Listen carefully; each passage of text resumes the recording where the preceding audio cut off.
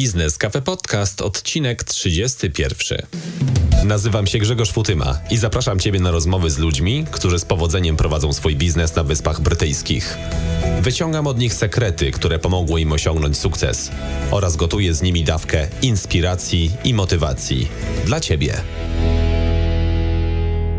Wierzę, że przedsiębiorcy to ludzie, którzy zmieniają świat na lepsze. Mają pomysł, jak wnieść wartość w życie innych, a następnie inwestują swój czas i energię, żeby go zrealizować. Wierzę też, że każdy biznes może działać lepiej, efektywniej. Trzeba tylko wiedzieć, co i jak w nim ulepszyć. To nie moje słowa, chociaż podpisałbym się pod nimi rękami i nogami, ale słowa mojego dzisiejszego gościa, Marka Jankowskiego. Człowiek z wieloletnim doświadczeniem nie tylko za mikrofonem, ale również za sterami firmy wydającej czasopismo branżowe dla handlowców artykułami dziecięcymi. Zaczynał od pracy w radiu, gdzie po kilku latach znudziła go powtarzalność i przewidywalność tej pracy. Zaczął więc szukać swojej drogi w biznesie, gdzie jak to zwykle bywa, nie obeszło się bez kosztownych lekcji. Po dwóch nieudanych próbach Marek wyciągnął wnioski, co pozwoliło mu podjąć kolejną, tym razem udaną próbę. Dzisiaj, oprócz jednego z najpopularniejszych w Polsce podcastów o nazwie Mała, Wielka Firma, jest również właścicielem świetnie prosperującego czasopisma o tytule Branża Dziecięca. O trudnych marka początkach i drodze do sukcesu usłyszysz w dzisiejszym odcinku Biznes Cafe. Innym jednak tematem, jaki poruszę z moim gościem, jest przeniesienie jego firmy do Wielkiej Brytanii. W roku 2016 Marek zdecydował się na przeniesienie tutaj nie tylko swojej firmy, ale również swojego domu. Porozmawiamy zatem o tym, jak mu się tutaj mieszka i prowadzi firmę w UK w porównaniu do Polski oraz co go tak naprawdę przekonało do postawienia takiego kroku. Od niedawna Marek jest też autorem kursu dla chcących nagrywać swój własny podcast, szczególnie biznesmenów. I tenże kurs uruchamia cyklicznie co jakiś czas. Akurat w momencie publikacji tego odcinka, czyli dzisiaj 18 października 2018, trwa nabór do kolejnej jego edycji. Możesz sprawdzić, jakie wsparcie oferuje Marek, wpisując adres biznescafe.uk ukośnik podcast pro. Jeśli skorzystasz z oferty Marka, klikając w link w opisie tego odcinka, Marek obiecał, że postawi mi za to kawę. Zapraszam Cię zatem do nie tylko spróbowania, jaką ofertę ma Marek, zobaczenia, co on oferuje, ale także do wysłuchania tej rozmowy oraz zadawania pytań pod tym materiałem na stronie biznescafe.uk odcinek 31.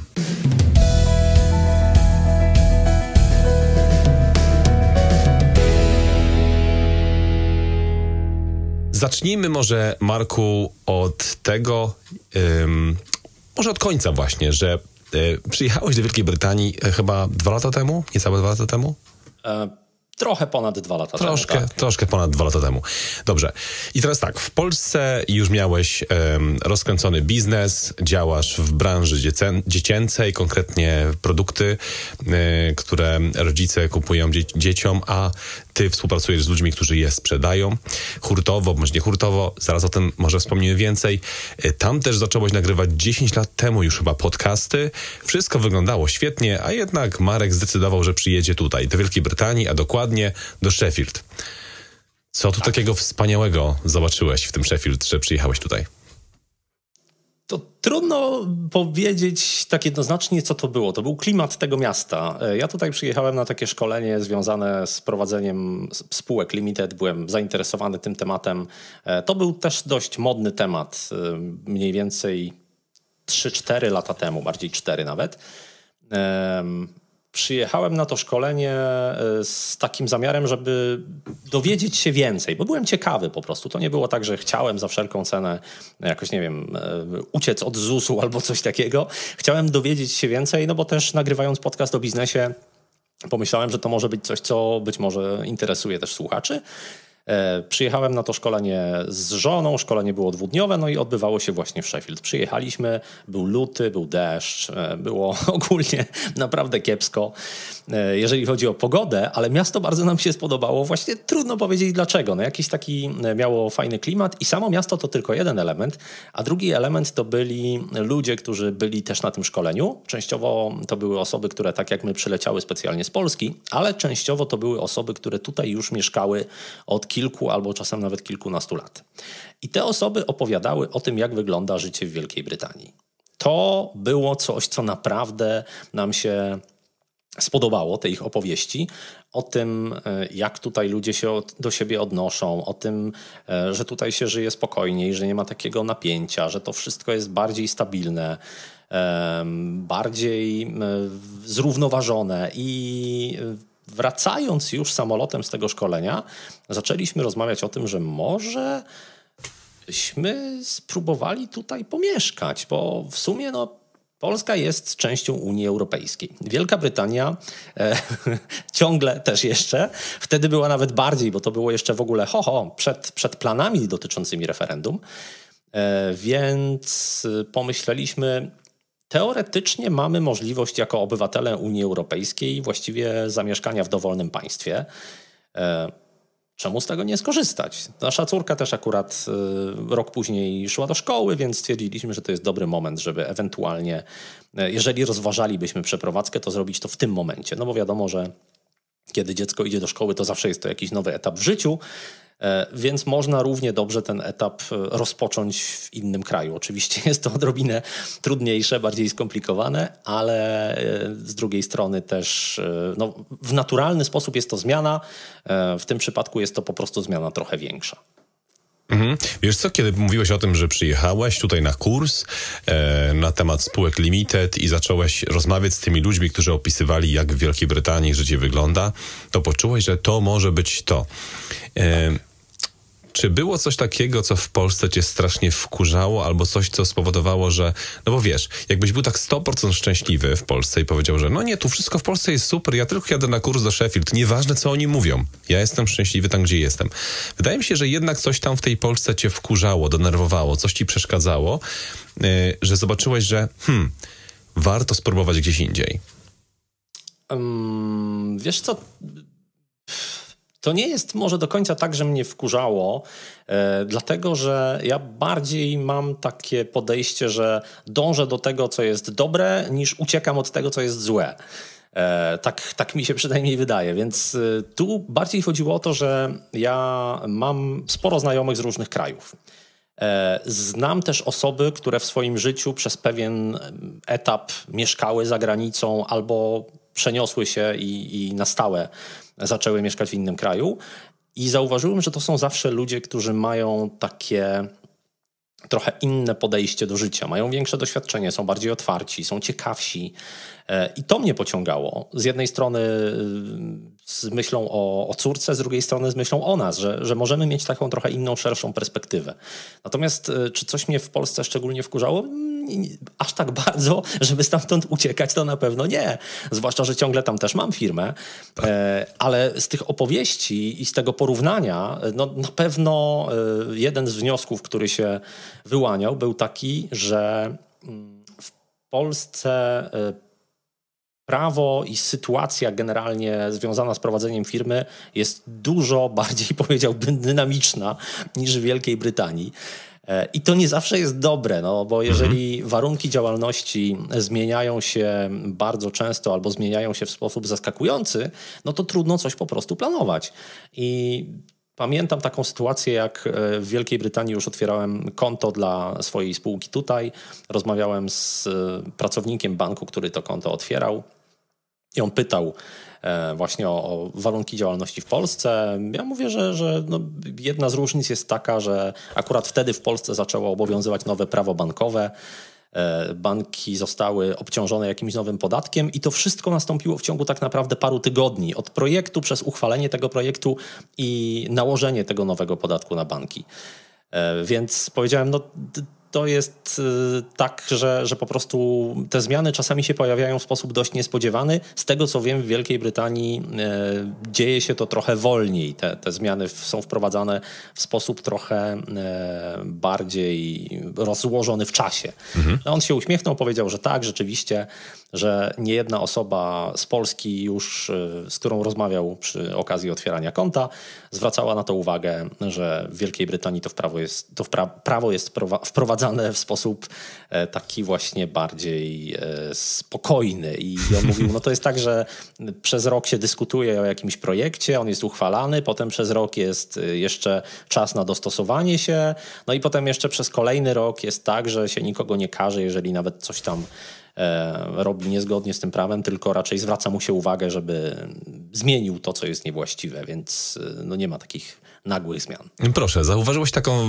cechę, która można być, może być w Anglikach, Brytyjczykach pozytywna, a jednocześnie negatywna, bo czym, nie wiem jak ty, ale ja pamiętam, jak przyjechaliśmy tutaj, wiele Polaków narzekało na tą brytyjską opieszałość angielską, że ojejku, jacy oni są wolni, zanim oni podejmą decyzję. My, by, my byśmy to już trzy ściany postawili w tym czasie, a oni dopiero o fundamencie coś tam grzebią w ziemi, więc jakby z jednej strony jest to problem, bo my jesteśmy szybcy, my działamy i za to jesteśmy chwaleni de facto w Wielkiej Brytanii, tutaj przez Anglików, że, że Polacy, jak, się, jak chwyci się do pracy, to zrobi, natychmiast jest zrobione.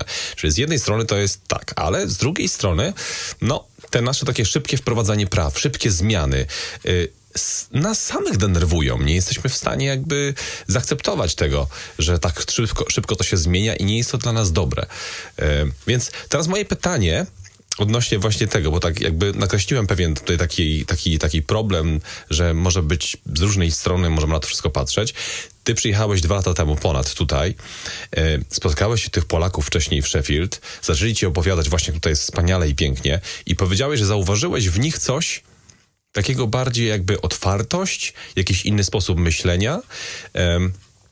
Czy tak jest, Marek, faktycznie, że w Polsce nasi rodacy w Polsce jesteśmy, może mamy mniejsze, węższe horyzonty, czy jakoś inaczej myślimy? Jak, jak byś to porównał?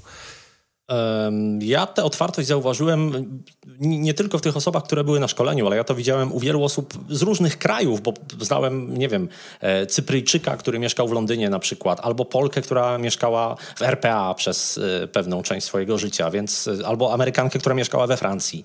Więc ja to widzę różny, u różnych osób, które miały takie e, zmiany w swoim życiu.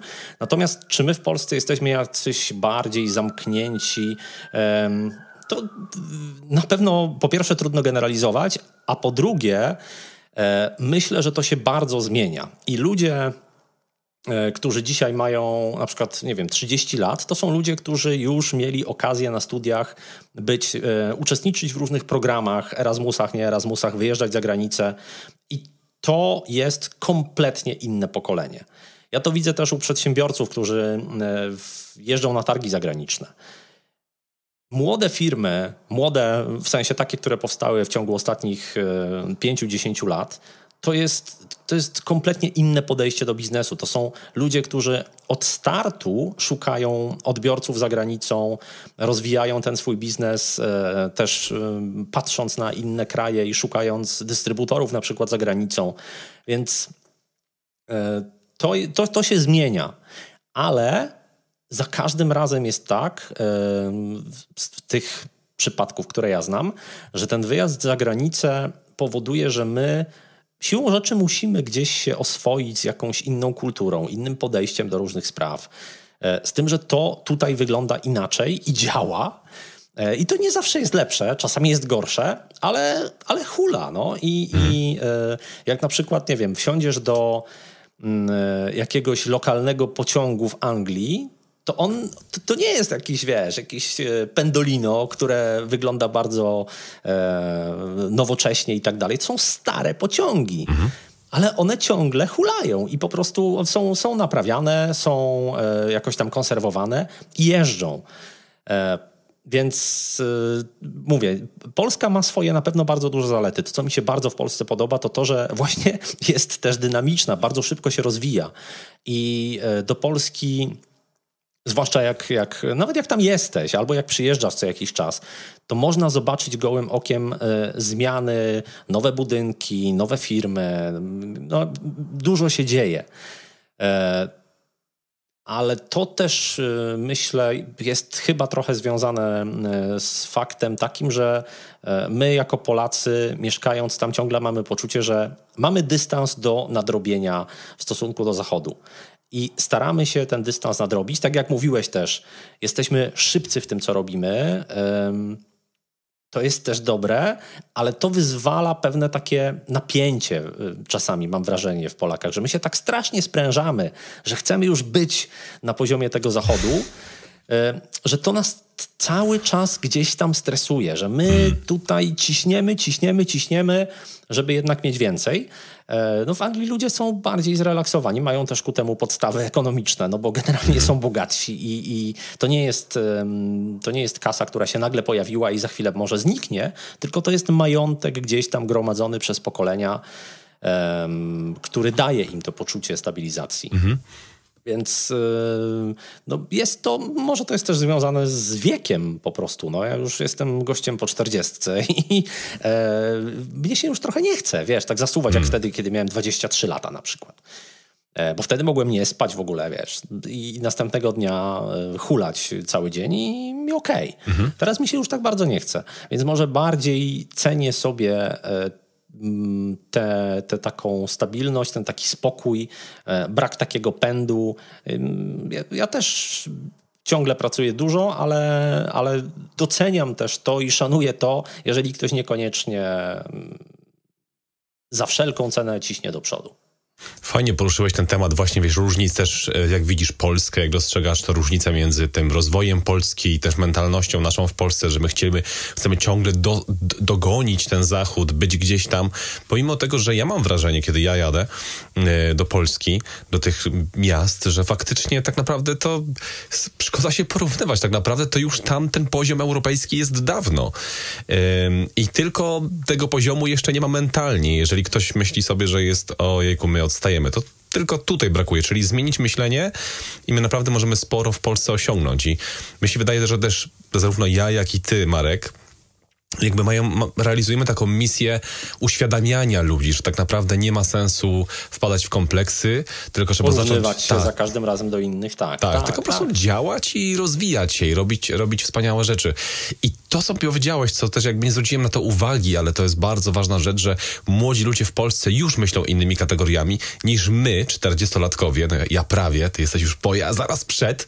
Yy, że my jeszcze myślimy tak jak wiesz, my się wychowywaliśmy i wtedy, a no tak, no tutaj biznes, jak to robić i to, mieliśmy zupełnie inny start. Mhm. niż oni teraz, gdzie jest dostęp do internetu w zasadzie od samego początku i tak. oni już się uczą, będąc nastolatkami. Ja obserwuję tak, na tak, przykład mojego, mojego 13-letniego chłopaka, y, syna, który, y, który siedzi w internecie i ogląda na YouTubie na przykład takich ludzi, którzy, jak na przykład Gary Vee, tak, Casey Neistat. To, to są ludzie tacy, którzy są celebrytami, ale dają wartość i pokazują i motywują, mobilizują ludzi do pracy, młodych ludzi. I on po prostu czerpie z tego i zaczyna to realizować w życiu. Tak, no, jeszcze, jeszcze jeden przykład mi przyszedł mhm. do głowy, jeżeli chodzi o to porównywanie się. No bo e, kiedy mieszkasz w Polsce i zarabiasz jakąś tam średnią krajową i e, ciągle męczy cię myśl, że ta średnia krajowa to jest jakiś ułamek średniej krajowej w Niemczech albo w Anglii, no to e, ciągle masz takie poczucie niedostatku. Mhm. Z drugiej strony, ja mam przyjaciela z Norwegii i kiedyś tam z nim rozmawiałem nie, nie, pamiętam, byliśmy gdzieś tam w jakiejś restauracji, e, rozmawialiśmy między innymi o, o, tym, że ja mówię, zaczęliśmy się śmiać, ja mówię, a Norwegowie, najbogatszy kraj w Europie, e, wy świetnie zarabiacie, więc tutaj jesteśmy całą ekipą, to rozumiem, że ty płacisz. A on się zaczął śmiać i mówi, no tak, tak, wszyscy właśnie tak uważają, że my mamy tak, tak strasznie dużo kasy i faktycznie my zarabiamy dużo, tylko że my też mamy bardzo wysokie koszty, bo u nas tak. wszystko jest cholernie drogie. No i miałem okazję się o tym przekonać, bo byłem u niego w Oslo i rzeczywiście, e, wiesz, no, no tani hotel tam to jest hotel, gdzie płacisz powiedzmy nie wiem, 500 zł w przeliczeniu za noc. No, mhm. Tani. No, nie najtańszy, ale, ale taki powiedzmy um, skromne trzy gwiazdki. albo no, no, nie wiem, piwo tam kosztuje jakieś pewnie 50 zł czy coś takiego. No jak tego, ten rząd wielkości. I nam się może wydawać w Polsce, znaczy nie wydaje nam się, jak my przeliczymy pensję średnią w Polsce na euro, to to jest niewielka kwota, mhm. ale z drugiej strony koszty życia w Polsce też są jednak często dużo niższe e, niż na Zachodzie. No jasne, że są rzeczy, które są w takiej samej cenie albo i droższe, ale są też rzeczy, które są tańsze, więc tak. to, to nie ma co się porównywać do innych krajów czy innych ludzi, bo my nigdy nie wiemy, jak to dokładnie wygląda po ich stronie. I to dotyczy e, i ludzi z innych krajów, i innych ludzi, którzy robią biznes, czy działają w tej samej branży co my. E, my widzimy tylko jakąś zewnętrzną otoczkę i skupiamy się tylko na jakichś wybranych szczegółach albo tym, co, co inni nam pokażą, a nie wiemy, jak to wygląda od kuchni. Super, wiesz co, dziękuję fajnie, że, że dotknąłeś tego tematu tak szczegółowo też i mogliśmy porozmawiać na ten temat, jak ty widzisz tą Wielką Brytanię, co ci się tutaj spodobało, wiesz, jak ta cała obserwacja tego, jak ludzie to postrzegają, jakie mogą być różnice i um, potencjalne problemy, właśnie porównywanie się i tak dalej. I pewnie byśmy mogli o tym rozmawiać jeszcze i rozmawiać, ale tak naprawdę to chcę porozmawiać więcej o tobie i dotknąć bardziej twojej osoby e, i tego, jak ty w ogóle zacząłeś w biznesie, bo e, tutaj często inspirują i motywują właśnie takie historie. I chciałbym usłyszeć, wiesz, nie tylko historię od, o o tym, jak Marek rozpoczął podcast, który też jest wspaniałym dziełem z sukcesem, którego Ci gratuluję, ale też y, biznesu, który już chyba wcześniej jeszcze zacząłeś robić, czyli związanego z branżą dziecięcą, a może nie, może mi się wydaje, że wcześniej. Po prostu powiedz, jak wyglądała Twoja historia od tego czasu, kiedy, nie wiem, skończyłeś szkołę i jaką, i gdzie dalej poszedłeś, następne kroki wykonałeś, jak dotarłeś do tego miejsca, w którym jesteś teraz?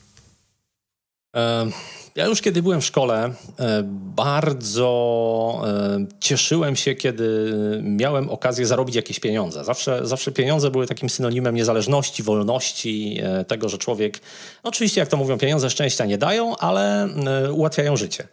Więc ja już w, w, liceum sobie tam dorabiałem, na przykład w takiej firmie poligraficznej, gdzie e, nauczyłem się Corela i tam składałem jakieś reklamy, takie, takie tego typu rzeczy. E, później pojechałem na studia i na studiach po pierwszym roku studiów zacząłem pracować w radiu. Mój kolega usłyszał, że jest nabór do radia, poszliśmy, miała to być praca wakacyjna. On nie przyszedł na ten nabór, bo tam gdzieś, nie wiem, uciekł mu autobus. Ja przyszedłem, no i zostałem. E, później byłem w drugim radiu, później w trzecim radiu, e, więc tak naprawdę mm, te studia schodziły na dalszy plan i w trakcie pracy w radiu ja te studia zmieniłem, później dostałem się na studia dzienne, przeniosłem się na wieczorowe, bo nie miałem czasu, bo, bo miałem radio. Później z wieczorowych e, przeniosłem się na zaoczne, bo nie miałem czasu, e, bo pracowałem, więc te studia skończyłem, potem nawet skończyłem studia podyplomowe, ale to już było na drugim planie. Bardziej liczyło się to, że właśnie mogę pracować, mogę być niezależny i robić to, co mnie kręci. I w pewnym momencie mm, postanowiłem, znowu, brakowało mi tej niezależności. Taką niezależność y, w moim mniemaniu dawała własna firma. I to było coś, co chodziło mi po głowie od, od czasu, kiedy miałem chyba 15 lat, że ja kiedyś chcę mieć własną firmę. No i wreszcie ją założyłem, i to był rok 2004, e, kiedy odszedłem z radia, żeby założyć swoją firmę. Jeśli mogę tylko tutaj zapytać jeszcze odnośnie Aha. tego radia, bo już jakby zakończyłeś, odszedłem z radia, a ja chcę, ja chcę wiedzieć, co tam właściwie robiłeś, bo pewnie pracowałeś za mikrofonem. Jeśli tak, tak to tak. w jaki sposób? Co ty tam robiłeś właściwie i e, jak wyglądał ten proces dostania się tam? Czy wystarczyło mieć dobry głos, dobrą dykcję, którą na pewno masz, bo słychać, czy, czy, czy trzeba było mieć jakiś zasób informacji, który, yy, który, który, yy, który, który spowodował, że ty byłeś tym atrakcyjnym kąskiem dla, dla tej stacji radiowej? Powiem ci, że nie, nie byłem za bardzo atrakcyjnym kąskiem, wydaje mi się. To było tak, że kiedy ja poszedłem na ten nabór e, pierwszy, to było radio Klakson we Wrocławiu, takie lokalne radio dla kierowców, które już nie istnieje od dłuższego czasu, no ale wtedy było i całkiem wśród kierowców było popularne.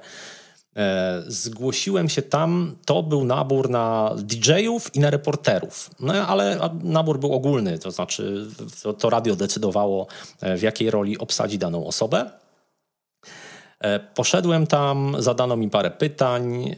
Pewien sympatyczny pan od razu pozbawił mnie złudzeń, że ja tam w ogóle się znajdę, bo powiedział: Czy pan sobie zdaje sprawę z tego, że ma pan krzywą przegrodę nosową i że to dyskwalifikuje, jeżeli chodzi o pracę w radiu? Powiedziałem, nie miałem pojęcia. No, ale on to gdzieś usłyszał, no, miał, miał dobre ucho. I no, więc w zasadzie, ponieważ to było na początku rozmowy, to później już byłem bardziej wyluzowany, bo, bo uznałem, że i tak nie mam szans. Po czym tego samego wieczora do mnie zadzwonili i zaprosili mnie następnego dnia do pracy. No ale e, zacząłem tam pracować jako reporter.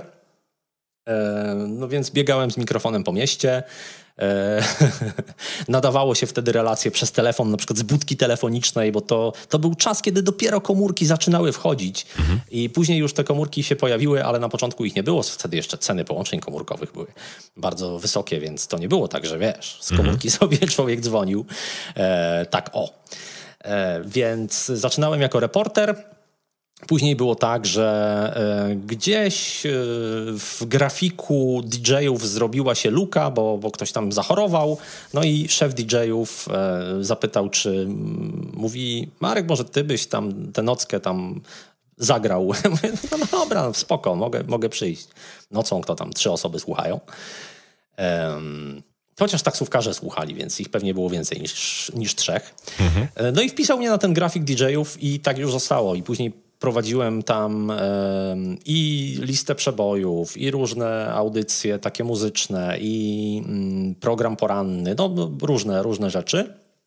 Stamtąd poszedłem do RMF-u, gdzie znowu byłem reporterem, no bo, bo tak wyglądała praca w lokalnych oddziałach RMF-u, że to byli tylko reporterzy, e, a ja pracowałem w lokalnym oddziale we Wrocławiu. E, I później mój szef, e, który, mój szef z RMF-u e, przeszedł do Radia Wrocław i ściągnął mnie do Radia Wrocław, gdzie znowu zaczynałem jako reporter, no bo to była taka rola właśnie przeniesiona, można powiedzieć, z RMF-u, ale też tam później prowadziłem audycje różne, więc robiłem w radiu w zasadzie wszystko. Jeszcze na początku w tym Radiu Klakson tam produkowałem jakieś jingle, no, robiłem tam dużo rzeczy. Wszystko, co można robić w radiu związanego z tym, co się pojawia na antenie, to, to w zasadzie robiłem. Rozumiem, że dawało ci to ogromną radość, bo tak y, jakby nie zrezygnowałeś szybko z tego, przechodziłeś z jednego do drugiego tak. i, i właśnie dawało ci to radość, ale teraz jednak zdecydowałeś, że niezależność, własna firma e, i powiedziałeś, odszedłeś od radia. I jak, jak, to, nastąpił, jak to nastąpiło? Jak wtedy się czułeś?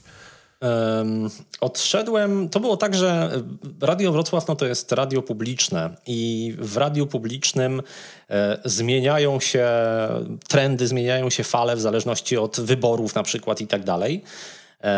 I gdzieś y, trochę też czułem tam, bo to już no, pracowałem w radiu już generalnie 7 lat i trochę już męczyło mnie to, że to jest w zasadzie strasznie powtarzalna praca.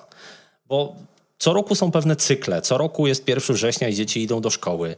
Co roku e, jest Boże Narodzenie i, i tak naprawdę co roku jest, e, nie wiem, jakieś, jakieś kumulacje w lotto, e, gdzie idzie się pod ten, ten punkt, gdzie tam się te, te zakłady zawiera i pyta się ludzi, co by zrobili ze swoją wygraną. To są bardzo powtarzalne czynności z jednej strony. Z drugiej strony to jest w polskich realiach praca dla młodych ludzi przede wszystkim. Dla takich, wiesz, szybkich pistoletów, którzy tu pach, pach, o dobra, pojadę, nagram, zmontuję i lecę dalej. E, trochę powiedziałem w polskich realiach, no bo, bo w Anglii, jak zobaczysz na BBC, to reporterzy w BBC to są ludzie z dużym doświadczeniem życiowym. To, to nie są, e, tak jak w Polsce, dwudziestoparolatkowie czy trzydziestoparolatkowie. To są ludzie, którzy mają po 50, 60, nawet pewnie 70 lat. I to jest inna zupełnie mm, praca, można powiedzieć, niż to, co robią reporterzy w Polsce. No ale, ale odnosimy się do realiów polskich. E, czułem gdzieś trochę znużenie tym, że, że w kółko tak naprawdę kręcę się wokół tego samego. E, I też, w, jeżeli mówimy o pracy w mediach lokalnych, no bo e, to, to było ciągle radio gdzieś ograniczone do Wrocławia, Dolnego Śląska, to też nie za bardzo są możliwości jakiegoś takiego rozwoju. Nie za bardzo po jakimś czasie, dłuższym czasie pracy, trochę przestajesz mieć się od kogo uczyć, no bo to jest zamknięte, niewielkie środowisko, e, w którym mm, no, gdzieś, gdzieś się osiąga jakiś, jakiś pułap, powyżej którego trudno przeskoczyć. Więc y, pomyślałem o, o tej firmie. To było też związane z tym, że ja kończyłem studia związane z zarządzaniem i marketingiem, które też były e, gdzieś odzwierciedleniem tych moich biznesowych e, ciągot. Więc e, no, to gdzieś tam się złożyło na to, że, że jednak postanowiłem zostawić radio i założyć firmę. Mhm. No, ale założyłeś firmę akurat niekoniecznie podobną jak radio. Nie, nie, nie otworzyłeś kolejnej stacji radiowej, nie otworzyłeś no niczego, nie. jakiejś produkcji jingli na przykład, tak? Y, postanowiłeś, że zajmiesz się zabawkami, wózkami dla dzieci? No, wtedy jeszcze nie. Aha. Wtedy jeszcze nie. Początek to był taki, Aha. że wymyśliłem sobie, że stworzę firmę, która będzie dostarczać rodzicom opiekunki do dzieci. E, e, przy czym miała to nie tyle być taka agencja pośrednictwa, która po prostu kojarzy jednych z drugimi, co taka firma wynajmująca opiekunki, czyli one pracowały formalnie dla mnie, natomiast były oddelegowane do domów dzieci. I to e, pomysł na to wziął się stąd, że dużo się wtedy mówiło w mediach o tym, że nie ma miejsc dla dzieci w przedszkolach we Wrocławiu. I że rodzice mają duży problem, bo mm, po prostu no, powinni iść do pracy, a nie mają z kim zostawić dziecka. Więc pomyślałem, że skoro jest taka luka na rynku, to dobrze by było ją wypełnić. E, był to dość, dość mocno chybiony pomysł, jak się okazało później. To znaczy, kompletnie nie miało to żadnych podstaw biznesowych. E, musiałbym mieć takich opiekunek z 200 pewnie, żeby to miało szansę na siebie zarobić. A miałem ich tam, e, no nie wiem, w porywach tam z, z o 10 może.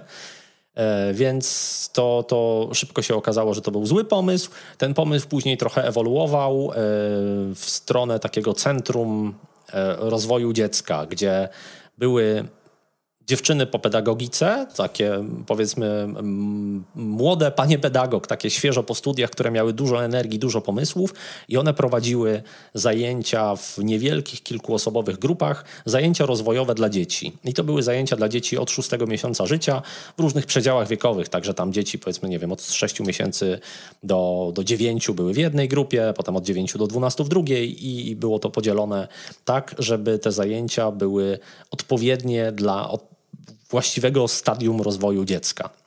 Mhm. No i to e, się rozwijało bardzo fajnie. E, tam rzeczywiście mieliśmy sporo klientów, no ale znowu biznesowo było to trochę chybione, dlatego że okazało się, że mm, no, mieliśmy tam kilkanaście osób, które prowadziły te zajęcia, robiliśmy jeszcze imprezy dla dzieci. Więc w sumie ekipa była spora, było spore zainteresowanie tymi zajęciami, więc my wynajmowaliśmy kolejne powierzchnie, bo tak się jakoś składało, że większość rodziców chciała na te zajęcia przychodzić na przykład w okolicach 16-17. E, no a też ze względu na na to, jak te zajęcia wyglądały, to, to nie mogły być 30-osobowe grupy, tylko to były grupy powiedzmy maksymalnie 8-osobowe, z tego co pamiętam, z bardziej 6-osobowe. E, no i trzeba było kolejnych pomieszczeń, żeby gdzieś te zajęcia prowadzić, więc myśmy te zajęcia, e, te kolejne pomieszczenia wynajmowali szczęśliwie albo nieszczęśliwie. Były takie możliwości w tym budynku, gdzie e, się mieściła firma, no ale Znowu, to było o tyle kiepskie, że po prostu koszty nas zjadały, bo, bo wynajmowaliśmy te pomieszczenia, płaciliśmy de facto za całą dobę i, i 30 dni w miesiącu, kiedy z nich korzystaliśmy, a korzystaliśmy przez dwie godziny każdego popołudnia. E, więc no, trochę, trochę to znowu nie za bardzo miało podstawy biznesowe, ale dobry efekt był taki, że wyciągnąłem wnioski z tych wszystkich moich doświadczeń i kolejna działalność, na jaką się zdecydowałem, czyli właśnie czasopismo branża dziecięca, E, to było coś, co zaczęło się ponad 10 lat temu, trwa do dzisiaj i cały czas się rozwija. E, I, i to, był, to była firma, znaczy firma formalnie to była cały czas ta sama działalność gospodarcza, natomiast no, nowy pomysł na biznes, który mm, powstał w wyniku między innymi tych wcześniejszych doświadczeń. Czyli ja wiedziałem, że nie chcę mieć wielu pracowników. Wiedziałem, że przynajmniej na początku ta firma powinna opierać się tylko na mojej pracy, tak żebym nie miał żadnych kosztów dodatkowych. I wykorzystywać powinna też ta firma moje doświadczenia, moje predyspozycje, moje talenty, to co ja potrafię zrobić dobrze e, i na tym zarobić. No i, i tak się zaczęło. Mhm. Czyli tak zauważam taką, taką trochę jakby odwrotny sposób dojścia do y, tego biznesu, który zadziała. To znaczy, może wyjaśnię. Y, Sporo osób zaczyna właśnie biznes od siebie, patrząc na to, jakie ja mam zdolności, co ja potrafię zrobić i zaczyna to robić. I później jest takim jednoosobowym etatowcem, można powiedzieć, no, jednoosobową firmą, która po prostu wykonuje jakieś dane usługi. Od tej osoby zawsze zależy, ile tej pracy zostanie wykonane. E, I jakby ten skalowalność później, no, jest trudniejsza, bo teraz, no, żeby kogoś zatrudnić, to trzeba go nauczyć tego, co ja już potrafię. E, może ja sam to lepiej zrobię. Tak. E, więc tak mniej więcej wygląda sytuacja. Albo można w drugą, y, od innej strony do tego podejść, to, to znaczy, ok, mam pomysł na firmę, na biznes, ale ja chcę tylko y, zarządzać tym i korzystać z y, profitów.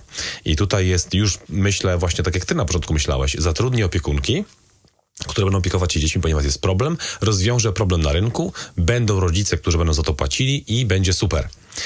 Tylko, że wydaje mi się, no tak jak już podkreśliłeś dwukrotnie, że no, pomysł niekoniecznie był zły, tylko mm, zabrakło tego obliczenia kosztów, obliczenia ile z tego będzie, ile faktycznie będzie tych chętnych i po prostu się to w obu przypadkach nie spięło finansowo. Mam rację?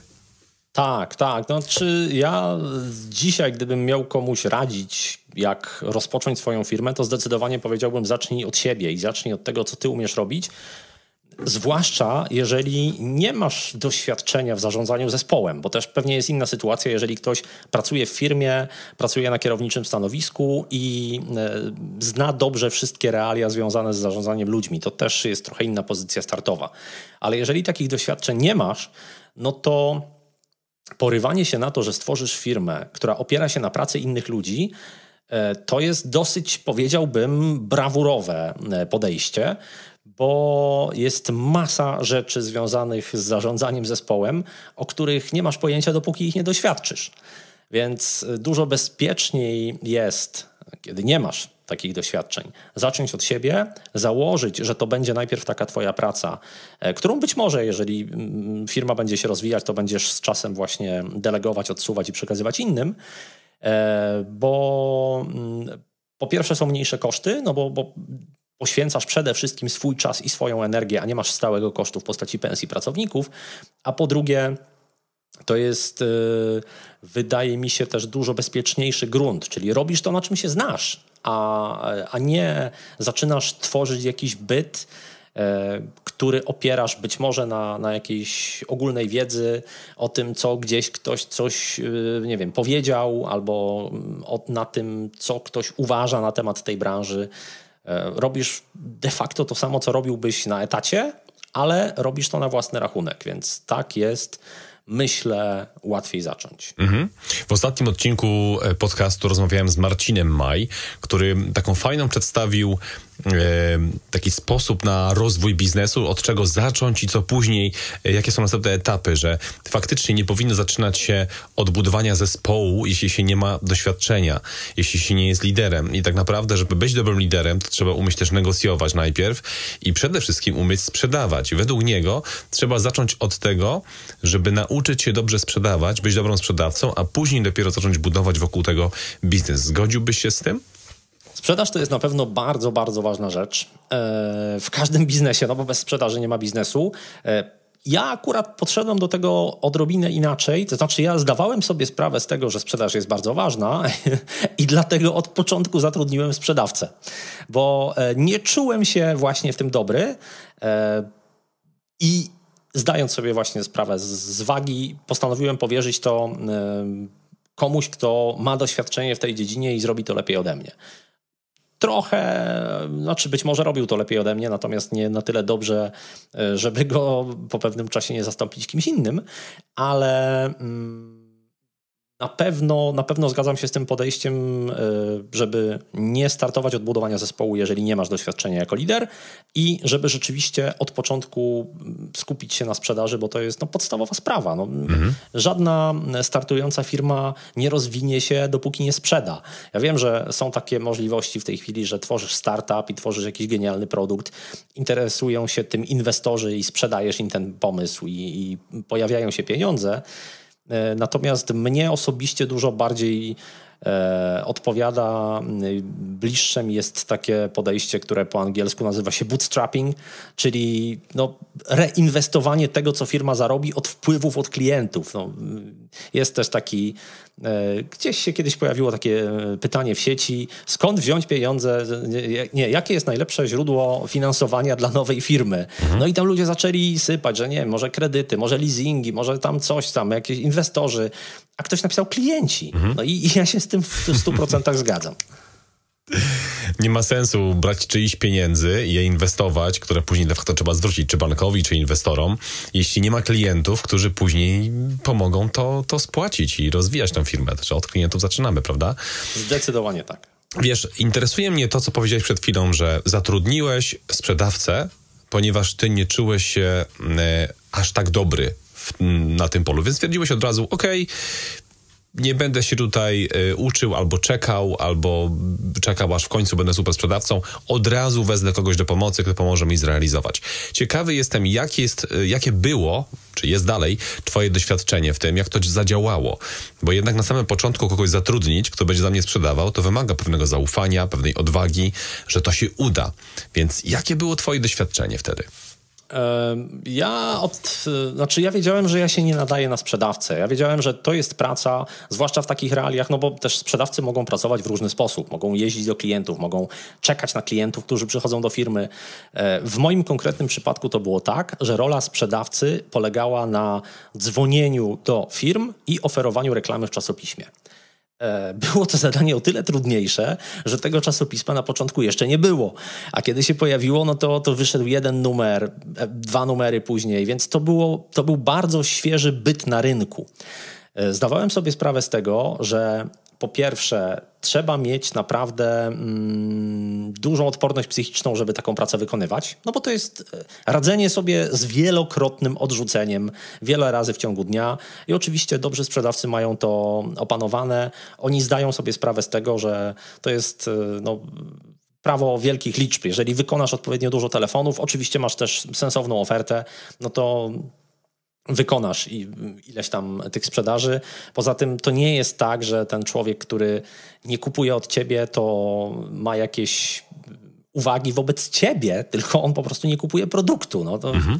to w większości sytuacji w życiu my nie kupujemy bardzo wielu produktów. No idziesz do sklepu i nie kupujesz wszystkiego, co stoi na półkach.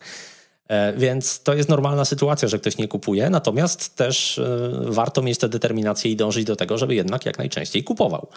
E, jedna sprawa to było to, że ja uważałem i nadal uważam, że to nie jest praca dla mnie. Ja nie mam tych zdolności, które mają, które mają dobrzy sprzedawcy, że potrafią sobie z tym wielokrotnym odrzuceniem e, radzić i potrafią w takich warunkach działać. Druga sprawa była taka, że Wtedy całe to czasopismo to byłem ja, czyli ja musiałem zebrać wszystkie informacje, e, napisać teksty, złożyć to jeszcze graficznie, wysłać do drukarni.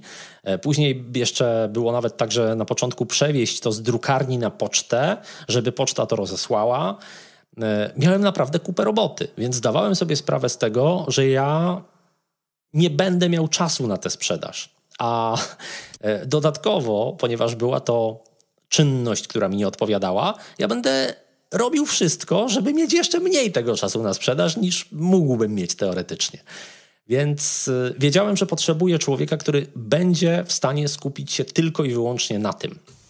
Dlatego y, zdecydowałem się od początku zatrudnić taką osobę, więc y, w moim przypadku to, to nie tyle była odwaga, to była po prostu no, jedyna opcja, jaką ja widziałem żeby to przedsięwzięcie w ogóle mogło zaistnieć. Mhm. I wiesz, no wspomniałeś też o tym, że okej, okay, sprzedawca ma pewien y, zasób wiedzy, w jaki sposób tą ofertę sensowną, jak ją nazwałeś, przedstawić. Um, jak stworzyć sensowną ofertę produktu, który jeszcze nie istnieje? Powiedziałeś, że magazynu jeszcze nie było. Tak. Teraz sprzedawca dzwonił i mówił, wiecie co, no sprzedaję wam reklamę w magazynie, którego jeszcze nie ma. Jak coś takiego sprzedać? Jak, jak ta oferta wyglądała? E, hmm. To znaczy, na pewno, na pewno nie jest to łatwe. E, na pewno to są mm, tak zimne kontakty, jak to się mówi, czyli, czyli dzwonimy do osób, które nigdy o nas w życiu nie słyszały. No i w tej sytuacji mm, trzeba się skupić na tym, co jest e, dobre w tej naszej propozycji, czyli pokazać na przykład, czym my się różnimy od innych rozwiązań, które już są na rynku. Czasami oczywiście jest tak, że startujemy z biznesem kompletnie innowacyjnym i nie mamy się do czego odnieść. Ale jeżeli mamy się do czego odnieść, no to możemy porównać naszą ofertę z ofertą konkurencji. Nie mówię, żeby jakby mówić, że nasza jest lepsza albo cudza jest gorsza, ale można pokazać różnice. I to takie, z którymi się nie da dyskutować. No i w czasie, kiedy myśmy startowali, było inne czasopismo na rynku, które pisało wyłącznie o zabawkach. My pisaliśmy i o zabawkach, i o artykułach dziecięcych, wózkach, fotelikach, meblach itd. Tak Więc uderzając do firm, które mm, sprzedawały te artykuły dziecięce, no to to było proste. Mówiliśmy, słuchajcie, jesteśmy jedynym czasopismem, branżowym, które trafia do sklepów i pisze o artykułach dziecięcych, więc tutaj wyróżnik był dość oczywisty. Uderzając do firm zabawkowych, mogliśmy powiedzieć, piszemy nie tylko o zabawkach, ale również o artykułach dziecięcych, a sklepy z artykułami dziecięcymi są też zainteresowane zabawkami najczęściej, no bo to jest coś, co poszerza ich ofertę. Więc e, dzięki nam możecie do takich sklepów również trafić. Więc e, wydaje mi się, że to jest kwestia przemyślenia na początku naszej, naszej strategii, zrobienia analizy SWOT, czyli zastanowienia się, jakie mamy słabe, silne strony, jakie są szanse i zagrożenia w otoczeniu, po to, żeby ta nasza oferta rzeczywiście dawała wartość tym naszym klientom. Tu nie chodzi o to, żeby zmyślać, nie chodzi o to, żeby koloryzować albo żeby e, opowiadać bzdury, tylko żeby znaleźć taką wartość, której w tej chwili na rynku nie ma, albo która jest dostarczana w niewystarczającym stopniu, my potrafimy zrobić to lepiej i przedstawić tę wartość e, klientom. Mhm.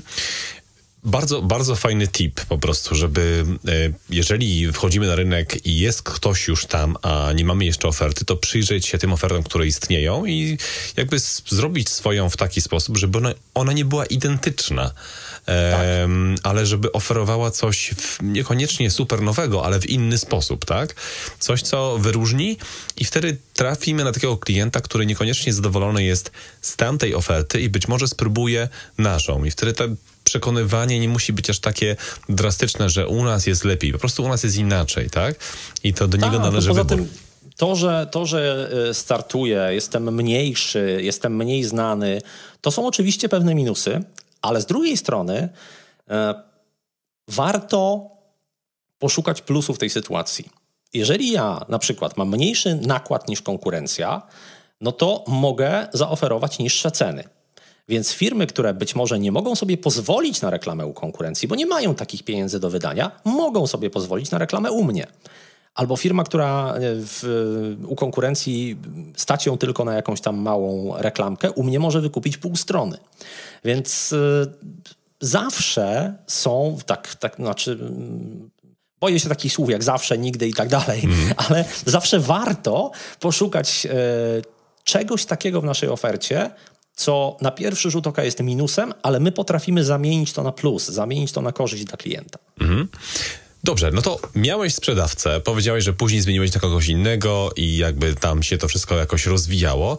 E, powiedz mi, jeśli chodzi o, o klientów, których pozyskałeś na początku, e, czy było łatwo tych klientów e, zatrzymać e, u siebie. No bo to jednak nowe, startujące, startujące czasopismo, e, to wszystko takie nowe, świeże, ci klienci testowali, próbowali. Jaka była twoja komunikacja z nimi? Co się działo, że, że to czasopismo jednak dalej istnieje i się rozwija? Na początku oczywiście mm, trudno było obiecywać tym klientom, e, że my tutaj, nie wiem, będziemy do końca świata i o jeden dzień dłużej. Trudno było ich namówić na jakieś też e, dłuższe umowy, no bo mm, ja sam na ich miejscu miałbym opory przed e, wykupieniem rocznej reklamy w czasopiśmie, które dopiero ma jeden numer albo dwa. Więc e, na początku chyba myśmy nawet nie sprzedawali, nie oferowali czegoś takiego jak takie długoterminowe umowy. Natomiast po kilku kolejnych numerach, jak już widać było, że to się rozwija, widać było, że e, z numeru na numer tych reklam jest odrobinę więcej i że to jest coś, co e, ma ręce i nogi ekonomicznie, no to wprowadziliśmy rzeczywiście taką no, sprzedaż czy podpisywanie umów na, na rok, czy nawet w niektórych przypadkach na dwa lata. I to było coś, co z jednej strony e, dawało klientowi realne korzyści, dlatego że no, każdy, kto ma cokolwiek do czynienia z marketingiem, zdaje sobie sprawę z tego, że pokazanie klientowi jednorazowego komunikatu zazwyczaj niewiele zmienia. Statystycznie są badania, że tam trzeba powiedzmy siedmiu kontaktów, żeby klient kupił. Więc klientowi opłaca się być w czasopiśmie regularnie przez długi czas, dlatego że to przynosi mu realne korzyści. To jest dużo bardziej opłacalne dla niego niż pojawienie się jednorazowo.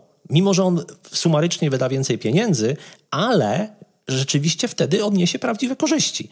I um, my od początku, kiedy, kiedy zaczęliśmy wprowadzać te, te umowy długoterminowe, to podkreślaliśmy to. Z drugiej strony, zrobiliśmy też bardzo e, istotne mm, różnice w cenach. To znaczy, jeżeli kupujesz jednorazową reklamę, to ona jest w cenie standardowej. Natomiast jeżeli kupujesz pakiet tych reklam, jeżeli podpisujesz umowę na dłuższy czas, to te ceny oczywiście są niższe, sporo niższe.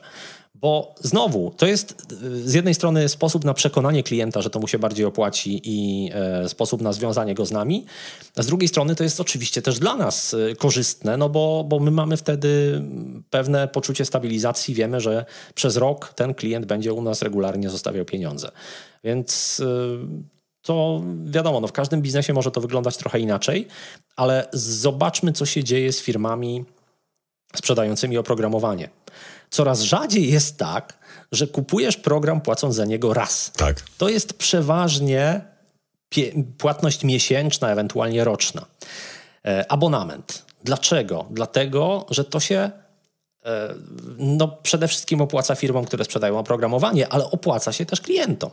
Bo jeżeli ta firma ma regularnie strumień gotówki, który ją zasila, to wtedy ma pieniądze na to, żeby ten produkt utrzymywać i rozwijać. I klient na tym korzysta, bo ciągle ma jakieś nowe funkcje, ciągle ten jego program jest aktualizowany, dostosowywany do nowych systemów czy nowych możliwości, które się na rynku pojawiają. Więc y, to jest mądry system. I jeżeli jakikolwiek biznes ma taki potencjał, żeby wprowadzić tam takie elementy abonamentowe, to, to warto, warto szukać takich możliwości. Bo mhm. to, jest, to, to, daje też ogromną stabilizację. To nie jest szarpanie się i za każdym razem e, zaczynanie od zera, tylko to jest budowanie pewnej, pewnej takiej, pewnego stałego strumienia przychodów. Wiadomo, że on się zmienia. Wiadomo, że są klienci, którzy po roku nie będą chcieli takiej umowy przedłużyć. Więc y, to, to, to nie jest tak, że to jest raz, dane raz na zawsze, ale to pozwala dużo spokojniej pracować nad rozwojem firmy, jeżeli mamy świadomość, że mamy tych umów długoterminowych trochę i jest pewien stabilny strumień pieniędzy z tego tytułu. Mhm. Bardzo fajna obserwacja, właśnie ciekawa. Z punktu widzenia właśnie klienta, który często mówi, nie, ja tym abonamentu nie chcę, ale wracając do tych już trochę zamierzchłych czasów, kiedy za faktycznie za oprogramowanie płaciło się jakąś sporą kwotę i później po kilku latach wychodził, no, wychodziła nowa wersja tego programu i trzeba było znowu wybulić kupę kasy, żeby skupić ten nowszy program, to czasami ludzie się zastanawiali, hmm, to może ja zostanę na tym starym na razie jeszcze i pomęczę się. A tak. tutaj y, ten, ta korzyść jest, że jesteś cały czas up to date, cały czas masz najnowsze oprogramowanie, ponieważ decydujesz się płacić miesięcznie, czy tam rocznie, a y, przeważnie no, z reguły tak jest, że te miesięczne opłaty są zdecydowanie niższe niż gdybyśmy mieli kupić cały pakiet oprogramowania. No i mało tego, i w momencie, kiedy potrzebujesz tego programu przez trzy miesiące, to kupujesz go na trzy miesiące i później rezygnujesz. Znaczy, tak. to, jest, to jest też układ fair. E, to się nie bez powodu nazywa software as a service, bo to jest de facto usługa. Firma dostarcza ci pewne rozwiązanie, które pomaga ci e, osiągnąć twój cel czy rozwiązać twój problem. I ty korzystasz z usługi wtedy, kiedy jest ci potrzebna. Przestajesz ci, przestaje ci być potrzebna, albo zobaczysz, że konkurencja stworzyła lepszy produkt, no to przestajesz płacić abonament tej firmie i przechodzisz mhm. do innej. Wracając do Twojej firmy i do magazynu, bo to zgoła troszeczkę inny model i troszeczkę różni się od oprogramowania.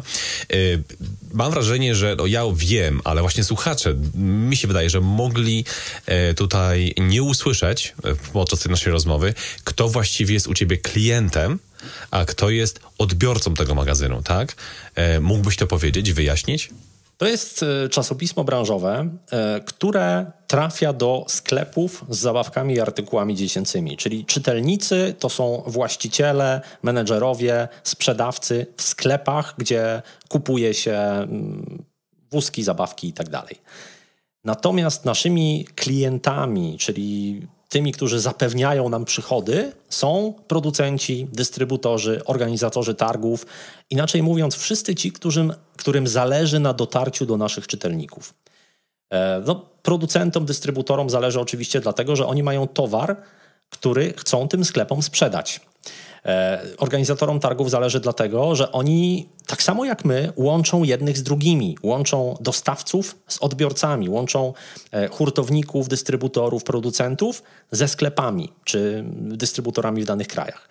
Więc e, my pomagamy im dotrzeć do odwiedzających takie targi, pozwalamy im przyciągnąć na te wydarzenia właściwą grupę docelową. I czasopismo branżowe, takie jak nasze, utrzymuje się e, w zdecydowanej większości e, przypadków z reklam. Są czasopisma branżowe, które utrzymują się z prenumeraty na przykład. Ale to są e, czasopisma, powiedzmy, w branży medycznej. I to jest trochę inna historia. Tam reklamy są, tam wręcz w ogóle nie ma reklam w niektórych takich czasopismach, ale. Mm, lekarze są, z tego co się orientuję, zobowiązani, czy dostają dodatkowe punkty do awansu zawodowego z racji tego, że prenumerują konkretne czasopisma, no bo w ten sposób podnoszą swoją wiedzę, swoje kwalifikacje, więc to jest trochę inny segment rynku, inna branża. Mhm. W większości czasopism branżowych, gdzie mówimy o branżach takich e, właśnie e, konsumenckich, no to, to takie, takie czasopisma utrzymują się z reklamy, ewentualnie z organizacji jakichś wydarzeń też branżowych. Mhm. I rozumiem, że odbiorcy czasopisma, czytelnicy, czyli właściciele y, sklepów, y, którzy sprzedają te produkty, y, widzą wartość w tym, ponieważ chcą być na bieżąco, tak? Czy coś jeszcze? Tak, to znaczy każdy, kto prowadzi, no wyobraź sobie, że prowadzisz sklep z zabawkami. Mhm. E, skąd ty masz wiedzieć, jakie są nowe zabawki? Oczywiście ciągle odwiedzają cię handlowcy, którzy z jednej firmy, z drugiej, z trzeciej, z piątej, którzy pokazują ci swoją ofertę i nakłaniają cię kup, kup, kup, zamów u nas, zamów u nas. No ale z drugiej strony no, nie masz całego przekroju rynku. Jest wiele fajnych zabawek, o których ty się nie dowiesz, bo handlowiec z danej firmy do ciebie nie trafi. To jest jedna sprawa. Druga sprawa jest taka, że ten handlowiec wpada do ciebie, pokazuje ci swoją ofertę, i on może trafić na moment, że ty masz dla niego czas i rzeczywiście wysłuchasz go z uwagą, a może trafić na moment, że ty masz zupełnie inne rzeczy na głowie. On nie siedzi u ciebie w sklepie e, przez 8 godzin, czy 10, czy 12 godzin dziennie, tylko on pojawia się i znika, bo, bo musi odwiedzić też wiele innych sklepów. Więc pojawienie się w czasopiśmie sprawia, że ty, czy inaczej, bo mówiliśmy o punkcie widzenia e, tego, tego czytelnika. Właści, tak, czytelnika, mhm. właściciela sklepu. Ty masz de facto przegląd rynku cały czas na bieżąco. Dostajesz w każdym kolejnym numerze nie tylko nowości rynkowe, jakie się pojawiają, nie tylko to, co firmy mają ci do zaoferowania, ale do, dostajesz też wiadomości o wydarzeniach na rynku. Wiesz, że na przykład, nie wiem, jakaś nowa sieć sklepów wchodzi do Polski i być może otworzy się w Twoim mieście. Wiesz, że są jakieś targi, na które warto pojechać. Wiesz, że jakiś dystrybutor właśnie wprowadził do dystrybucji nową markę i to jest coś, czym warto się zainteresować. E, więc masz wiedzę o tym, co się dzieje na rynku, plus dostajesz też wiedzę na takie tematy branżowe, związane albo z konkretnymi grupami produktów, na przykład, nie wiem, możesz się doszkolić z tego, czym się różnią nianie e, wideo jedne od drugich. Możesz się doszkolić z technik sprzedaży, z technik prezentacji produktów w sklepie. Możesz się dowiedzieć, jak lepiej urządzić swój sklep, żeby wycisnąć więcej z każdego metra kwadratowego. I tu nie chodzi wcale o to, żeby upychać tam więcej towaru i więcej półek, czasami wręcz, najczęściej wręcz przeciwnie. E, możesz się dowiedzieć, jak e, zorganizować e, ścieżkę klienta w sklepie, jak wy, wyeksponować towar na półkach, żeby on lepiej zwracać, zwracał uwagę, jak pozbyć się tak zwanych zalegaczy, towaru, który kiedyś tam zamówiłeś i nikt się nim nie zainteresował.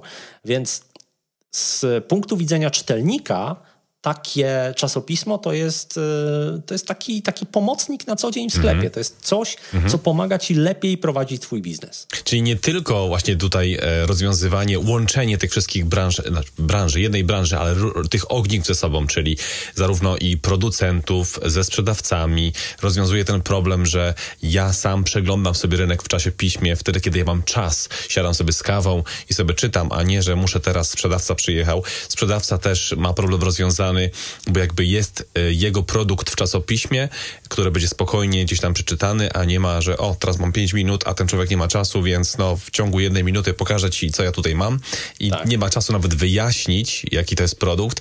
E, więc jakby rozwiązuje to ogromny problem, na rynku wśród nich, łączy ich razem, daje informacje, ale też konkretnie daje porady, jak prowadzić ten biznes lepiej. I to jest, mi się wydaje, bardzo fajne w, w, w, tym, jak ty to opisujesz, bo y, sporo osób może na przykład pomyśleć sobie, a czasopismo, dobra, to ja sobie jutro założę czasopismo na przykład y, o książkach z danej, na przykład, nie wiem, jakiś tam o książkach z, powiedzmy dla y, dzieci w wieku danym, takim, powiedzmy jakimś tam danym wieku, nie? I i, i, I, mogę bazować na tym, że no, no bo ja wiem, jak zrobić okładkę, no bo ja wiem, jak napisać tam jakieś tam artykuły i tak dalej. Ale czy to też rozwiązuje inne problemy? Czy to faktycznie, bo tutaj widać, Twoje czasopismo zdecydowanie rozwiązuje problemy ludzi i daje im informacje, czyli jest bardzo potrzebne dla nich. I to jest e, bardzo ważna rzecz przy każdym rodzaju biznesie, nie tylko o czasopiśmie, czy Twój biznes jest potrzebny, czy klienci Ciebie chcą. To, że ty chcesz zrobić biznes, jak najbardziej. Oczywiście, fajnie. Tylko zrób taki biznes, który, który będzie potrzebny dla innych ludzi. I to, co ty robisz, widać z tym czasopismem, to jest dokładnie właśnie to. E, ciekawy jestem też, na koniec jeszcze zapytam, e, na koniec tego tematu, zapytam, e, w jaki sposób ty zbadałeś albo dowiedziałeś się, że faktycznie i, y, to jest potrzebne? I czy dowiedziałeś się o tym zanim zacząłeś, czy w trakcie, jak już robiłeś czasopismo? Dowiedziałem się o tym zanim zacząłem i to jest, to jest świetne pytanie, dlatego że to jest też coś, co odróżnia e, właśnie branżę dziecięcą, to czasopismo, od tych wcześniejszych biznesów, o których mówiłem, czyli tego Centrum e, Rozwoju Dziecka i tych opiekunek na początku. To znaczy tutaj zaczęło się od tego, że ja zobaczyłem... E, konkurencyjne czasopismo, można powiedzieć. One trochę jest inne, natomiast gdzieś częściowo właśnie pokrywa te same obszary rynku. Zobaczyłem, zobaczyłem jak ono wygląda i uznałem, prawdopodobnie potrafiłbym zrobić to lepiej. Zobaczyłem, że tam jest dużo reklam i pomyślałem, hmm, są firmy, które są gotowe płacić za to, żeby być w takim czasopiśmie. I to były mm, sygnały takie świadczące o tym, że, że to rzeczywiście może być dobry pomysł. Później ten pomysł weryfikowałem. Pojechałem na jedne targi w Polsce, gdzie y, chodziłem od stoiska do stoiska i rozmawiałem z firmami. Mówiłem, że no mam taki pomysł, że może y, chciałbym zrobić takie czasopismo, i zastanawiam się właśnie, jak oni by to widzieli, czy z ich punktu widzenia to jest w ogóle sensowny pomysł, co w takim czasopiśmie powinno być. E, żeby ono z ich punktu widzenia było dobrym miejscem na reklamę. Pojechałem na targi za granicę, tam też rozmawiałem. To już było przed, tuż przed wydaniem pierwszego numeru, więc już wtedy wiedziałem, że ten pierwszy numer się ukaże, ale znowu to był taki moment, kiedy ja e, chciałem wyjść do tych ludzi żeby też poznać ich osobiście, bo to jest też niesamowicie ważne, zwłaszcza jeżeli chce się działać w, w, na, na styku, kojarząc, można powiedzieć, dwie strony, żeby poznać tych ludzi. Bo zupełnie inne relacje masz z ludźmi, jeżeli po prostu jesteś wydawcą czasopisma i oni cię kompletnie nie kojarzą, kim ty jesteś, a zupełnie inne masz relacje, jeżeli ty widzisz tych ludzi na targach, spotykasz się z nimi, e, oni cię znają, porozmawialiście chwilę na różne tematy, To, to jest kompletnie inny poziom porozumienia. Tak. Dlatego ja jestem ogromnym fanem w ogóle targów, bo to mhm. jest super okazja do tego, żeby spotkać się z ludźmi. E, pomijając taki aspekt czysto handlowy, że jeżeli przyjeżdżasz na targi, bo właśnie prowadzisz ten sklep, chcesz obejrzeć towar, no to oglądasz prawdziwy towar, a nie oglądasz zdjęcia, które mogą być naprawdę przepiękne, wyretuszowane i w ogóle wystylizowane. E, więc jesteś w stanie kompletnie inaczej ocenić e, jakość produktu, jeżeli go dotkniesz, niż jeżeli widzisz zdjęcie. A druga sprawa, poznajesz ludzi. I to jest, to jest podstawa. No, biznes robią ludzie między mhm. sobą. I ktoś może mieć genialny towar, ale być po prostu bucem. I nie będziesz chciał z nim robić e, biznesu. Więc e, mhm. To, to, jest, to jest mega ważne i, i e, no, myślę, że to jest jedna, jedna z też podstawowych rzeczy, znowu, to, to nie zawsze da się tak jeden do jednego zrobić. No jeżeli sprzedajesz jakąś aplikację mobilną, ona się rozchodzi przez jakiś tam App Store czy, czy y, Google Play, no to, to nie jesteś często w stanie spotkać tych ludzi twarzą w twarz. Ale jeżeli są takie okazje, e, tych ludzi mówię, twoich użytkowników, e, czy użytkowników twojej aplikacji, jeżeli są takie okazje, to warto z nich korzystać, bo to podnosi relacje na zupełnie inny poziom. Mhm. Czyli to, co teraz opisałeś, to jest taki konkretny market research yy, i nie tylko taki, że siedzę w internecie i sobie patrzę, co tam już jest i tam popatrzę sobie na opinie ludzi, tylko wychodzę do tych ludzi, z którymi chcę współpracować, wychodzę do moich potencjalnych klientów, jestem przy nich i konkretnie pytam o to, okej, okay, nie mówię tylko, że o słuchaj, mam dla was taką propozycję, mam coś super, super słabo pomysł, tylko słuchajcie, co aktualnie używacie na przykład do reklamy, gdzie się reklamujecie, jak to działa, co byście chcieli nowego, co tak. wam tam nie działa, czy wszystko jest super, czy nie. I przeważnie klienci narzekają na jakiś tam serwis. Nie wszyscy, ale ktoś może powiedzieć, no akurat nie mamy rezultatów stamtąd. A dlaczego? I warto być rozmawiać. A druga rzecz, o której wspomniałeś, to jest właśnie być ym, z nimi, nawet pójść z nimi na obiad, y, pójść z nimi na kawę i po prostu pokazać się, jakiego typu się jest człowiekiem, że, że, że, że chce się pomóc, a nie tego gdzieś tam sprzedać po cichu, pastę do zębów wepchnąć i, i wyjść z jakąś tam kasą w kieszeni, tylko chodzi o to, że jestem tu, wchodzę na ten rynek po to, żeby konkretnie zaistnieć, pomóc i rozwiązać problemy, które tutaj istnieją. I to jest prawdziwy market research, prawda? To jest podejście do biznesu, które domyślam się młodzi ludzie teraz już właśnie jakby no ogarniają, bo dzięki internetowi i dostępie e, do wiedzy E, to jakby widzą, że to jest ta wartość w rozpoczynaniu biznesu, czyli skierowanie się na potrzeby klienta, a nie na potrzeby własnego ja, że ja chcę mieć biznes, no więc zaczynam dzisiaj i robię coś, co mi się podoba. Jeszcze jedną taką rzecz stwierdziłeś, po, po, powiedziałeś, ja Mówiłem ci przed nagraniem, że słuchawki sobie ostatnio kupiłem, e, wczoraj dokładnie, ale tak się na nie napaliłem, ponieważ byłem e, w sklepie i miałem przyjemność po prostu je założyć, ubrać i zobaczyć, jak działają, poczuć, y, po prostu fizycznie dotknąć y, tego produktu. I to jest też coś, co zauważam jest teraz problemem, bo większość sklepów przechodzi na sprzedaż online. I online możesz dostać wszystko next day delivery nawet prawie wszystko możesz dostać następnego dnia. Przywiozą ci do domu, ale kiedy idziesz do sklepu i chcesz spróbować, jak coś działa, to często nie mają tego nawet na stanie. To jest gdzieś na obrazku tylko. Y, I to jest już taki problem, że, że ludzie przestają mieć możliwość sprawdzenia, dotknięcia tego, zanim coś kupią. Jeżeli coś kosztuje tam powiedzmy 5-10 funtów, to nie jest taki problem. A jeśli coś kosztuje 300, 400, 500 funtów, to chcielibyśmy wcześniej tą rzecz zobaczyć. I tak jest w przypadku choćby nawet czy dziecięcych rzeczy, wózków, choćby nawet. No, ja mam czwórkę dzieci, wiem ile kosztuje nauczenie się złożenia wózka i go rozłożenie we właściwy sposób. I czasami jak frustrujące jest składanie takiego, takiego sprzętu, jeśli tak naprawdę... Yy, no, nie wiedzieliśmy jak to jest, coś przyjechało, otwieramy to i o Boże, to takie trudne jest, coś innego kupił. Więc na przykład targi, tak jak powiedziałeś, są doskonałą okazją, żeby przyjść i dotknąć, zobaczyć, samemu przetestować i podjąć decyzję, dla Twoich klientów to jest właśnie, że podjąć decyzję, czy, czy ja chcę to zaoferować swoim klientom, i prezentować im to w moim sklepie. O, proszę zobaczcie, jednym palcem to składam, nie? A nie, że e, zaraz, jak to było? Tak, tak. I, i e, to, co mówisz o, o, zmianach w handlu, to jest rzeczywiście takie zjawisko, które e, obserwuje się od, od dłuższego czasu, od kiedy handel internetowy się tak szybko rozwija, bo faktycznie jest tak, że no, ludzie z powodu pojawienia się handlu internetowego nie zaczęli nagle kupować dwa razy więcej. Ludzie kupują mniej więcej tyle samo, ale przestają kupować w sklepach stacjonarnych. Co to oznacza? One się coraz mniej opłacają i zaczynają się zamykać. No i problem pojawia się te, wtedy, kiedy ty chcesz coś wypróbować, tak jak powiedziałeś. E, dla mnie takim e, bardzo jaskrawym przykładem są perfumerie. No wyobraź sobie, że zamawiasz zapachy przez internet. No, jak znasz daną, dany markę, marka to jeszcze pół biedy, ale konkretny zapach, no to możesz zamówić, bo wiesz, co to jest.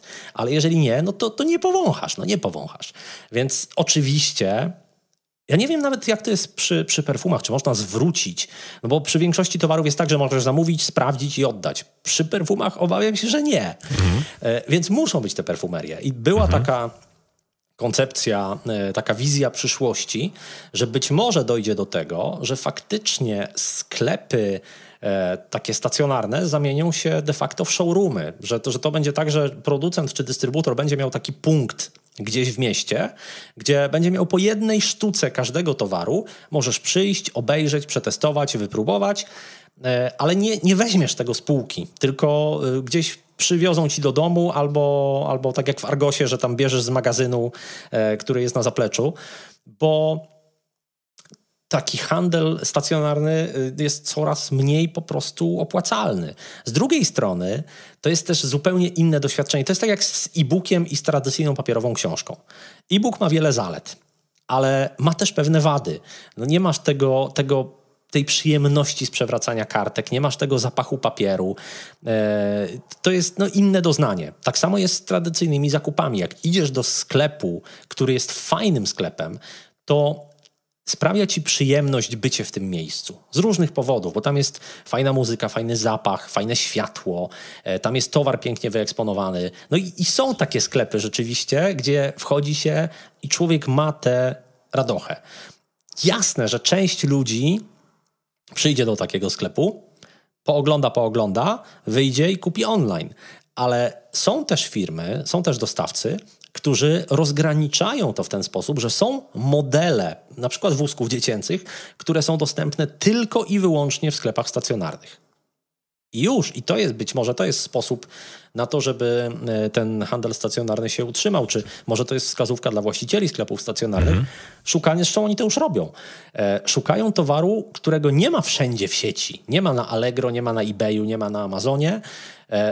Tylko, je, a jeżeli jest, to jest oferowane tylko i wyłącznie przez producenta w cenie takiej jak w, normalnie w sklepach, no, żeby, żeby nie konkurować z tym internetem, który zazwyczaj koszty ma o wiele niższe, bo nie musi utrzymywać powierzchni handlowej na odpowiednim poziomie. Mhm. Dotykamy bardzo ciekawego też tematu, problemu, który przez ostatnie lata bardzo się nasila. To znaczy właśnie te zmiany, ten efekt, efekt tych wszystkich zmian online, czyli sklepy są online, coraz więcej sklepów się zamyka, szczególnie w Wielkiej Brytanii. Tutaj już kilka w ostatnich latach się zamknęło, które wcześniej istniały, teraz już w ogóle ich nie ma. I jest coraz mniej, jakby kurczy się ten rynek, a z drugiej strony są możliwości. Choćby nawet pomyślałem o tych perfumediach. No nie da się rady powąchać. Hmm. Może ktoś wynale... wynaleźć. Może ktoś coś takiego zrobi, że będzie można powąchać um, perfumy przez internet. Nie wiem, może jakiś, jakiś, jakieś urządzenie, które przekaże dokładnie ten sam sygnał do naszych sensorów. Nie wiem, teraz są takie możliwości medyczne e, i wręcz bym powiedział, wiesz, technologiczne, które mogą sprzężyć się z naszym ciałem i powodować pewne doznania, choćby nawet zapachowe czy, czy wzrokowe, które e, są sztucznymi rzeczami, ale dają ten sam efekt. Także imitują tak, tak, rzeczywistość. Ciekawy jestem, wiesz, jak, w jakim kierunku to właśnie pójdzie. Czy jednak wszystko pójdzie online, będziemy mogli wszystko doświadczać, choćby nawet, nie wiem, być może nawet jakieś hologramy czy coś dotykać, coś, co nie będzie tym, e, tym produktem, ale będziemy czuli się tak, byśmy go dotykali. Czy tak pójdzie w to w przyszłość?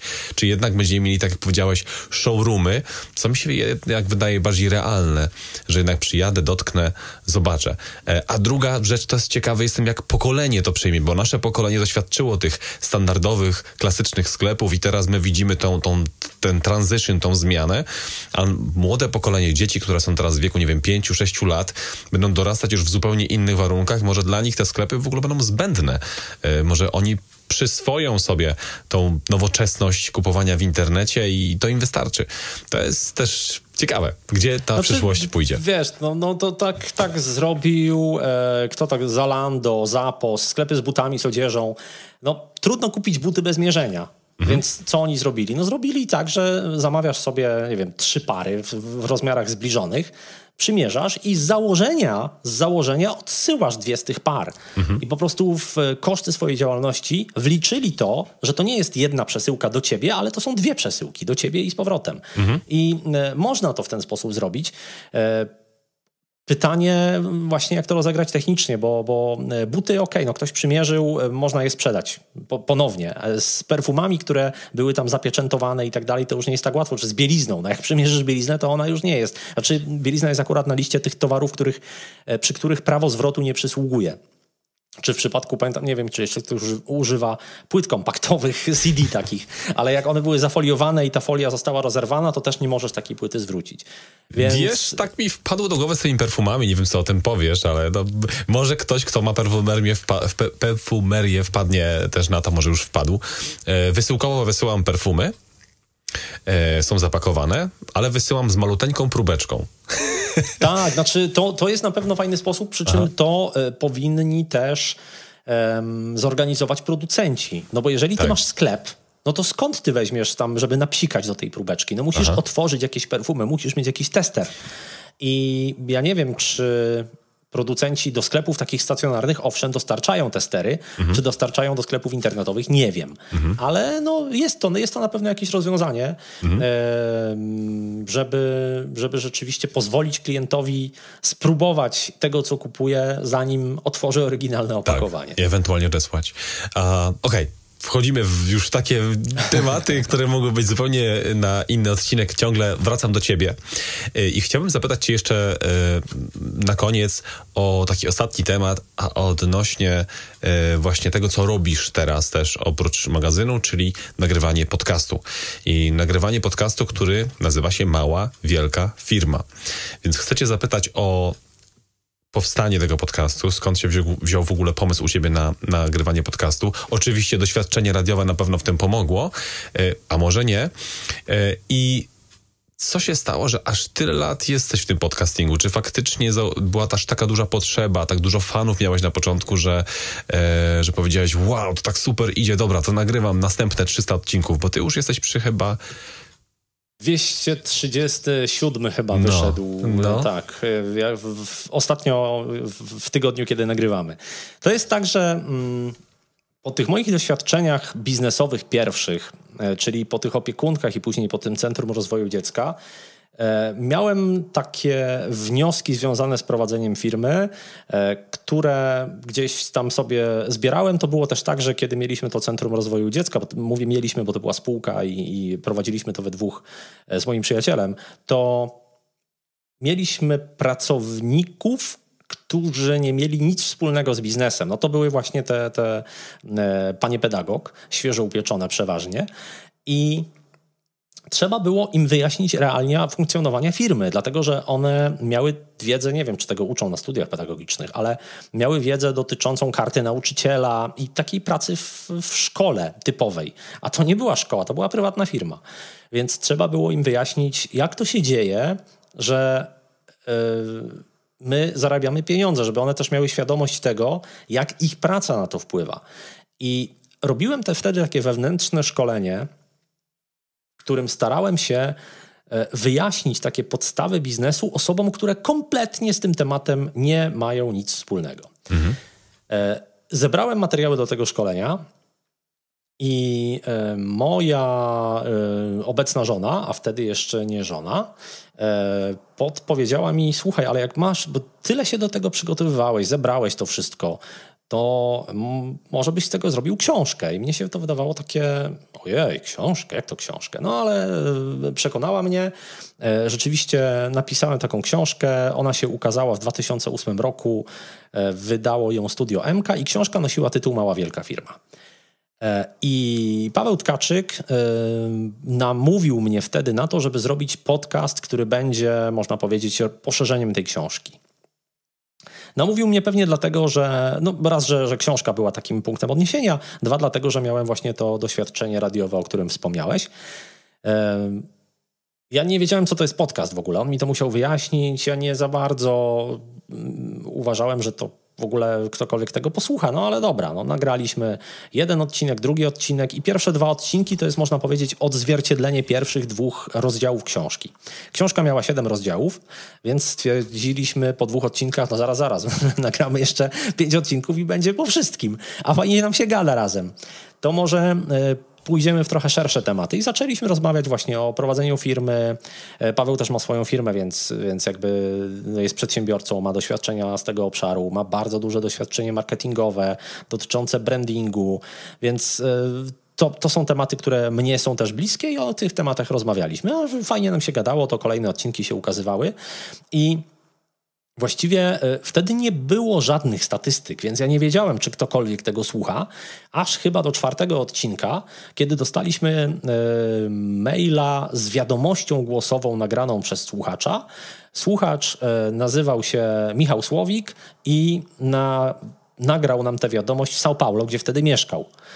I ja byłem w szoku, że coś tam, jakąś mp3 wrzuciliśmy do internetu, i dostajemy nagranie w odpowiedzi z komentarzem do jednego z odcinków, która przyszła z drugiego końca świata. Mhm. E, więc to było takie niesamowite. No a poza tym no, super nam się z Pawłem rozmawiało, mieliśmy, mieliśmy flow, jak to się mówi. E, siadaliśmy i gadaliśmy i było, było fajnie. Obydwaj się przy tym świetnie bawiliśmy. E, więc nagrywaliśmy te kolejne odcinki. Mniej więcej po 20 odcinkach okazało się, że Radio Wrocław, mój były pracodawca, akurat ma taką, znaczy zaproszono nas w ogóle e, jako gości, żeby powiedzieć też e, słuchaczom radia o tym, że pojawiło się coś takiego jak podcasty. No i tu akurat we Wrocławiu mamy taki podcast, który, który się ukazuje, jeden z niewielu wtedy jeszcze polskich podcastów. E, I później zaproponowano nam żebyśmy ten podcast przenieśli do radia. I robiliśmy rzeczywiście, nagrywaliśmy w radiu audycję, ona się ukazywała tam chyba o 20, w jakimś, nie pamiętam, jakiś tam dzień tygodnia był. E, więc był taki etap, że podcast de facto był audycją radiową. Potem e, zmieniła się ramówka, w ogóle radio zrezygnowało z jakichkolwiek gadanych programów wieczorem, tam była tylko muzyka, no więc my też padliśmy ofiarą tej zmiany i e, podcast zniknął z radia, ale nagrywaliśmy go dalej.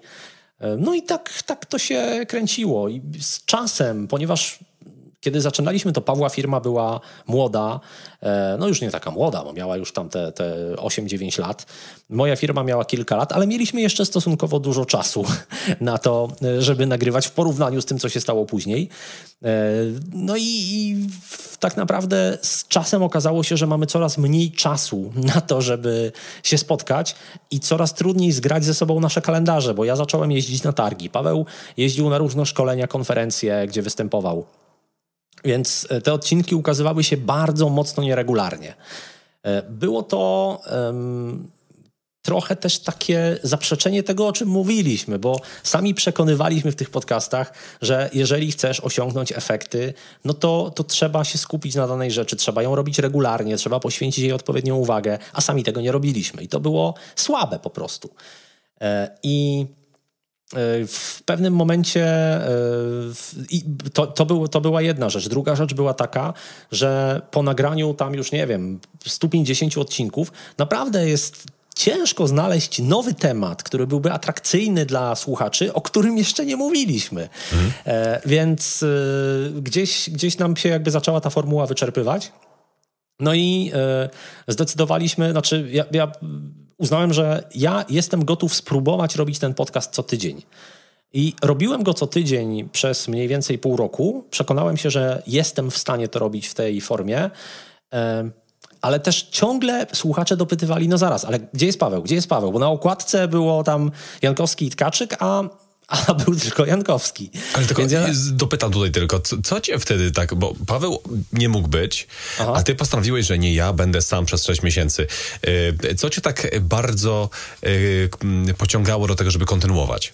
E, wiesz co, zaczęliśmy już wcześniej nagrywać z gośćmi. I dla mnie to była fajna formuła. I ja wiedziałem, że e, takie rozmowy z gośćmi po pierwsze są. E, ciekawe dla słuchaczy, no bo to nie jest tylko już ciągle tych dwóch gości, którzy w kółko rozmawiają ze sobą, ale pojawiają się jakieś nowe osoby, które mają inne doświadczenia, znają się na innych tematach, więc to, to jest nowa, fajna treść. Z drugiej strony, miałem takie poczucie, że, że podcast to jest coś, co, znaczy miałem bardzo fajne informacje od słuchaczy, że im się to podoba, że oni by chcieli i czułem, że ja też chciałbym im dać tego więcej, tylko że e, jeżeli to faktycznie ma przyciągać słuchaczy, no to musi to być regularne, bo inaczej to, to, to nie za bardzo ma sens e, istnienia. I tutaj być może, nie wiem, e, jak byłem dzieckiem, to mama mi zawsze powtarzała albo robisz coś porządnie, albo nie rób tego wcale. No więc być może tutaj e, gdzieś jeszcze wpływy z dzieciństwa zadziałały, że stwierdziłem, no dobra, no jak już to robić, to robić to porządnie. Nie wiedziałem, czy to się uda, dlatego przez te pół roku e, robiłem to, żeby sprawdzić też samego siebie, czy mnie się to nie znudzi, taka formuła, czy ja nie będę z tym za bardzo zmęczony, tym za bardzo zmęczony, czy nie uznam że to już jest taki obowiązek, który trzeba odbębnić co tydzień. Bo gdyby tak się stało, to pewnie przestałbym nagrywać po prostu. Ale y, czułem, że, że to mi się dalej podoba, to dalej e, mnie kręci. E, ten odzew, który był, też był coraz silniejszy i coraz bardziej pozytywny, więc to wszystko zmierzało w dobrą stronę, tylko właśnie no, ciągle e, musiałem się tłumaczyć, dlaczego Pawła nie ma, a, a jest na okładce, więc E, odezwałem się do niego i mówię, słuchaj, czuję, że trochę po prostu robię ludzi w konia, bo obiecuję im, że będzie tkaczyk, a tkaczyka nie ma. E, ale wiem też, że no, no jakby nie, nie jesteśmy w stanie nagrywać co tydzień. E, więc y, uważam, że byłoby fair wobec tych ludzi, gdyby po prostu powiedzieć im, dobra, no to, to od y, teraz robi ten podcast Jankowski, a Tkaczyk jak będzie miał okazję i będziemy mieć jakiś fajny temat e, do rozmowy, no to się pojawi i będziesz takim zawsze honorowym współprowadzącym, e, bo, no bo to ty jesteś pomysłodawcą tego podcastu. To nie jest tak, że wiesz, że, że tutaj e, gdzieś wyrzucam cię za burtę i się odcinam i w ogóle, i w ogóle, tylko po prostu chcę być fair wobec słuchaczy. No i Paweł powiedział spoko, no jakby jak najbardziej ja też, e, no, on mi powiedział, ja czuję, że to od początku był twój podcast, on się też nazywa Mała Wielka Firma, tak jak twoja książka, no bo to miał być ten, ten e, punkt e, startowy. I, i okej, okay, no rzeczywiście jak trafi się okazja, to nagrywamy. Przy czym staramy się znaleźć takie okazje wtedy, kiedy jesteśmy razem w jednym pomieszczeniu. Raczej nie nagrywamy zdalnie. Zdarzyło nam się chyba kilka razy nagrywać zdalnie, ale to jest trudne, bo Paweł jest najczęściej na wyjazdach. Wtedy są problemy z internetem, są problemy z odpowiednim pomieszczeniem. Gdzieś tam ktoś, nie wiem, e, przechodzi, przeszkadza, jest, są mhm. jakieś hałasy, trudno nad tym zapanować, trudno zapanować nad jakością, nad sprzętem i tak dalej, więc e, raczej jak nagrywamy w dwóch, to wtedy, kiedy znajdziemy się w jednym pomieszczeniu i, i to jest rzeczywiście e, fajna sprawa. No a że od kiedy ja wyjechałem z Polski, to, to rzadziej nam się zdarza być w jednym pomieszczeniu. To też e, te odcinki wspólne nie są tak często, ale, no, ale mam nadzieję, że, że niedługo coś się może znowu trafi. Mhm. I wspomniałeś o tym, że, żeby to robić profesjonalnie, żeby to robić w dobrym miejscu. Um, I faktycznie tak jest u ciebie. Wszystko y, jest y, nagrywane na dobrym sprzęcie, w dobrej jakości, publikowane na bardzo profesjonalnym, super wyglądającym, ostatnio odświeżonym blogu. E, widać, że inwestujesz w to, co robisz. To nie jest tylko tak, że o, lubię to robić, sobie porozmawiać z ludźmi i będę kontynuował, bo słuchacze tego słuchają. To wygląda na kolejny biznes. I czy tak faktycznie jest, że podcast jest biznesem? u ciebie? E, wiesz co, y, można powiedzieć, że zaczyna być. To znaczy, zaczął być de facto. No, tam cały czas były jakieś drobne elementy e, typu na przykład, e, jeżeli mój gość mówi o jakiejś książce i na blogu jest link do tej książki, to jest to przeważnie link afiliacyjny, więc ja tam jakieś grosze zarabiam, kiedy ktoś przez ten link daną książkę kupi. Ale we wrześniu zeszłego roku ja wypuściłem mój kurs dla podcasterów, kurs Podcast Pro. I to był taki pierwszy, można powiedzieć, produkt cyfrowy, no kurs online, E, który był związany bezpośrednio z podcastem i który zarobił no, już odrobinę większe pieniądze niż, niż te jakieś tam drobne kwoty afiliacyjne. E, I faktycznie jakby widzę, że jest potencjał w podcaście taki, żeby zaproponować tym odbiorcom być może coś jeszcze więcej, jakieś nowe produkty. E, więc, e, więc to, to można powiedzieć, idzie to w stronę e, jakiegoś też biznesu, co znowu wynika z moich zainteresowań. To znaczy, kiedy zaczynałem czasopismo branża dziecięca, to wtedy pojęcie biznes online w Polsce było pojęciem naprawdę raczkującym. Byli ludzie, którzy już robili takie rzeczy, ale to były jednostki. Teraz jest tego coraz więcej i jest e, coraz więcej ludzi, którzy są gotowi kupować takie też cyfrowe e, produkty, więc no, jest rynek, który mm, się bardzo optymistycznie rozwija. Ja też mam takie poczucie, że, że jestem fair wobec tych moich odbiorców, bo rzeczywiście nagrywam ten podcast regularnie i to nie jest tak, że ja nagle się pojawiam e, w ich życiu i mówię hello, to, to, to ja, być może jeszcze o mnie nie słyszeliście, ale co, proszę bardzo, mam to na sprzedaż. Tylko ja regularnie dostarczam im pewną wartość. I e, czasami mam wręcz takie maile z pytaniami, czy ja mam jakieś konto na Patronite na przykład, mhm. e, czy, czy można coś ode mnie kupić, bo ludzie chcieliby się odwdzięczyć, a nie za bardzo mają okazję. Miałem tak na przykład też po e, poprzednich edycjach kursu, że ktoś do mnie napisał, że kupił kurs, chociaż w ogóle nie zamierza robić podcastu, ale uznał, że to jest jedyna forma, jaką mi się może odwdzięczyć. Albo e, ktoś pisał i mówił, kurczę, czy ja mam coś jeszcze, bo, bo on właśnie, no, podcasty kompletnie go nie interesują, ale chciałby coś ode mnie kupić, tylko mhm. nie za bardzo ma co. Więc widzę, że są takie pozytywne sygnały e, i sam temat biznesu online też, też mnie interesuje i mnie kręci, więc, więc na pewno będę chciał coś w tę stronę zrobić. Natomiast dużym takim komfortem psychicznym jest to, że mam branżę dziecięcą, która działa, która przynosi pieniądze i ja nie muszę się spinać, żeby za wszelką cenę tutaj e, sprzedać ileś tam rzeczy w internecie, bo ja to traktuję jako dodatek. Ja to traktuję ciągle jako hobby, jako jakiś tam e, projekt poboczny, który kręci mnie, cieszy, przynosi mi radość i chcę go rozwijać, ale nie mam takiego, wiesz, ciśnienia, że jak, jak tam nie sprzedam, to nie będę miał co do garnka włożyć. Mhm. No to Marek, w takim razie tak, podcast jednak zajmuje sporo czasu, branża dziecięca, magazyn na pewno też. Ciekawy jestem i czy jest w stanie nam powiedzieć, czy dużo pracujesz i jeśli tak, ile? E, jakbyś spytał moją żonę, to powiedziałaby, że za dużo. E, ja lubię pracować, więc to, to jest e, niestety tak, że, że mnie się czasami trudno oderwać.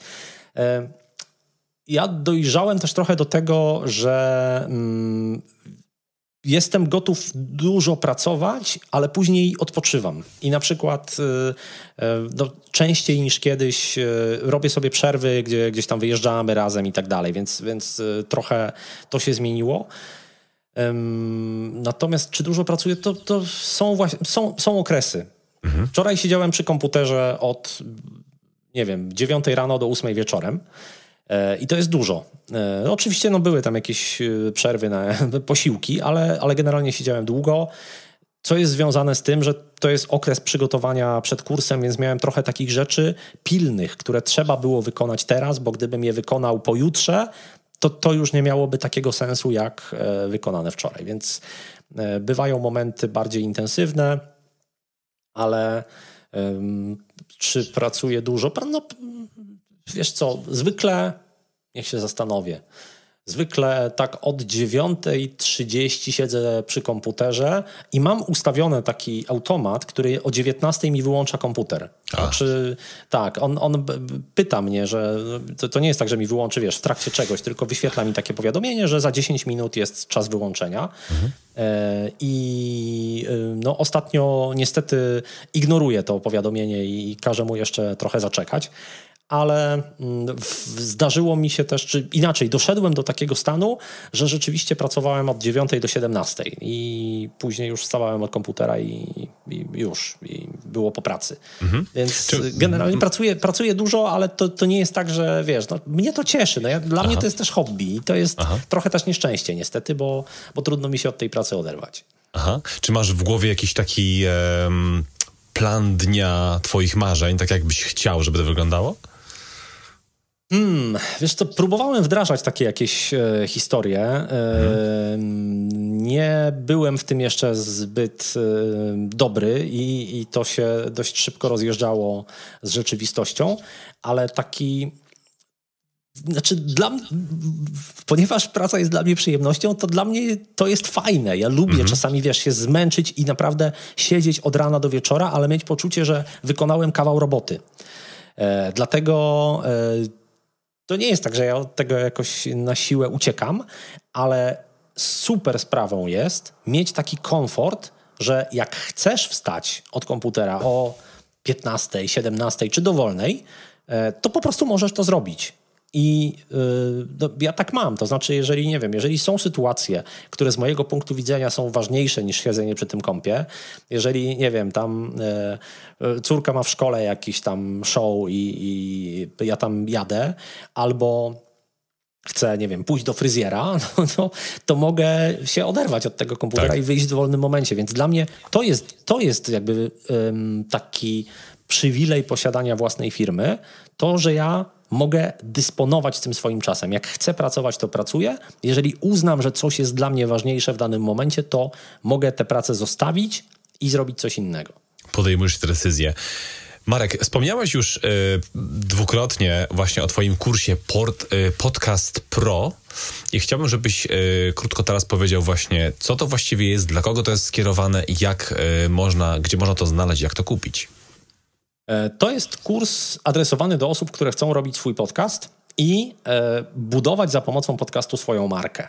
E, dlaczego ja jakby zwracam uwagę na tę markę? Dlatego, że są podcasty, które są takimi podcastami, mogą być podcasty jakieś, powiedzmy, nie wiem, religijne na przykład, albo gdzie, gdzie ktoś, powiedzmy, nagrywa jakieś modlitwy i, i, i nie, nie, łączy się to z żadnym biznesem. Po prostu ma potrzebę podzielenia się albo jakimiś swoimi przemyśleniami życiowymi, albo e, jakąś taką inną treścią, którą chciałby dać światu e, z innymi, więc, więc to jest trochę inna bajka. W moim przypadku podcast to jest e, content marketing. To jest y, narzędzie, za pomocą którego możesz osiągnąć konkretne cele biznesowe. To nie znaczy, że zawsze musisz sprzedawać za pomocą podcastu, ale podcast pomaga ci zbudować autorytet w twojej branży na przykład. Podcast pomaga ci e, zbudować zupełnie inny poziom relacji z odbiorcami. Więc ten kurs jest adresowany do osób, które chciałyby za pomocą podcastu budować swój autorytet, budować relacje ze swoimi e, odbiorcami w domyśle gdzieś tam e, biznesowymi. E, więc mogą to być, wiesz, mogą to być prawnicy na przykład, którzy chcą wybić się z grona tysięcy innych prawników i chcą być, a to jest ten prawnik, który się zajmuje prawem biznesowym i nagrywa podcast. To mogą być powiedzmy dziennikarze, blogerzy, którzy są aktywni w jakimś obszarze, na przykład właśnie prowadzą blog, ale czują, że poza tym blogiem chcieliby wykorzystać jeszcze jakąś inną formę, e, żeby dotrzeć do nowych odbiorców, żeby przekazać to, to tę bibliotekę treści, którą zbudowali, e, jeszcze w trochę inny sposób. To mogą być marketerzy, ludzie, którzy mają jakieś produkty do zaoferowania i budują lejek sprzedażowy, jak to się brzydko mówi, albo ładnie, co się komu podoba, ale budują grono odbiorców zainteresowanych danym tematem. I część z tych ludzi prawdopodobnie będzie chciała na pewnym etapie być może skorzystać z ich usług albo kupić ich produkt. Więc do takich ludzi ten kurs jest adresowany. I w tym kursie uczę całego procesu e, tworzenia podcastu. To znaczy od przygotowania i zaplanowania całego podcastu jako cyklu i konkretnych odcinków e, tego, jak one powinny e, być zbudowane, żeby przyciągać słuchaczy, żeby być atrakcyjne, przez nagrywanie, montaż, czyli to, co się zazwyczaj mm, kojarzy ludziom z nagrywaniem podcastu, że ja muszę usiąść przed, przed mikrofonem, coś powiedzieć i potem to zmontować, aż po dystrybucję i promocję tej treści, czyli jak to zrobić, żeby to, co nagram, znalazło się w internecie, ale znalazło się też w aplikacjach mobilnych, żeby e, ludzie łatwo byli w stanie to wyszukać i żeby dotrzeć z informacją, że taka treść się pojawiła do właściwych osób.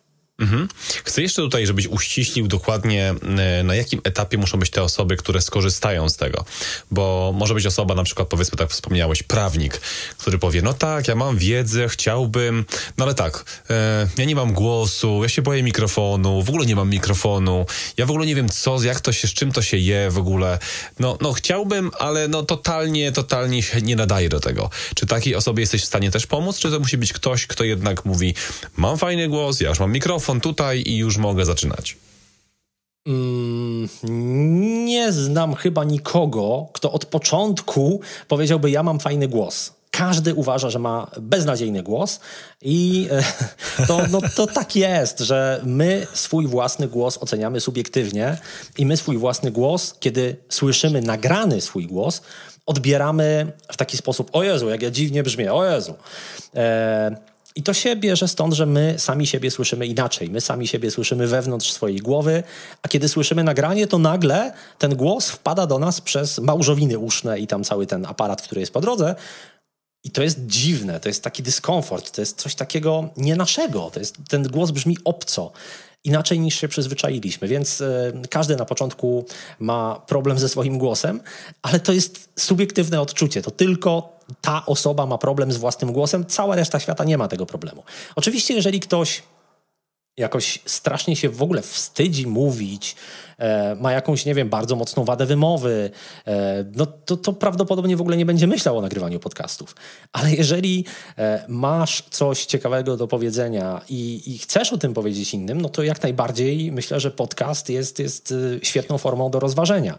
I teraz, czy kurs jest dla początkujących, czy dla takich, którzy już mają coś do e, jakieś doświadczenie w tej dziedzinie. Dla jednych i dla drugich. To znaczy, ja mam kursantów, którzy przyszli i nie wiedzieli kompletnie nic o podcastach, wiedzieli tylko, że to jest coś, co ich interesuje. I zaczęli nagrywać. I stwierdzili, wow, w ogóle super, to mi się podoba.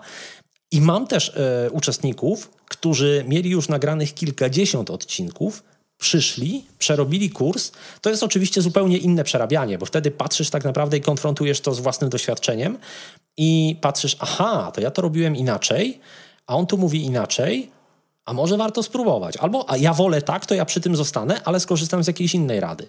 Więc miałem też takie osoby, i e, też, też miałem od nich bardzo, bardzo fajne e, takie informacje zwrotne. E, bardzo fajną e, reakcję zaobserwowałem u jednego człowieka, który też był, e, jest specjalistą w ogóle od e-learningu, więc kiedy on kupił ten kurs, to ja powiedziałem, ojej, no stary, to teraz czuję się po prostu jakbym, jakbym prowadził zajęcia w klasie i przyszedł wizytator z kuratorium, który tutaj siedzi i będzie, hmm, to jest nie tak, to nie tak się powinno nauczać. E, ale super, przysłał mi później, pytał, spytał, czy chce informacje zwrotne od niego i przysłał mi maila z tym, co uważa, że było super, z tym, co można by było poprawić, także e, też, też fajnie mi pomógł podkręcić jeszcze ten kurs.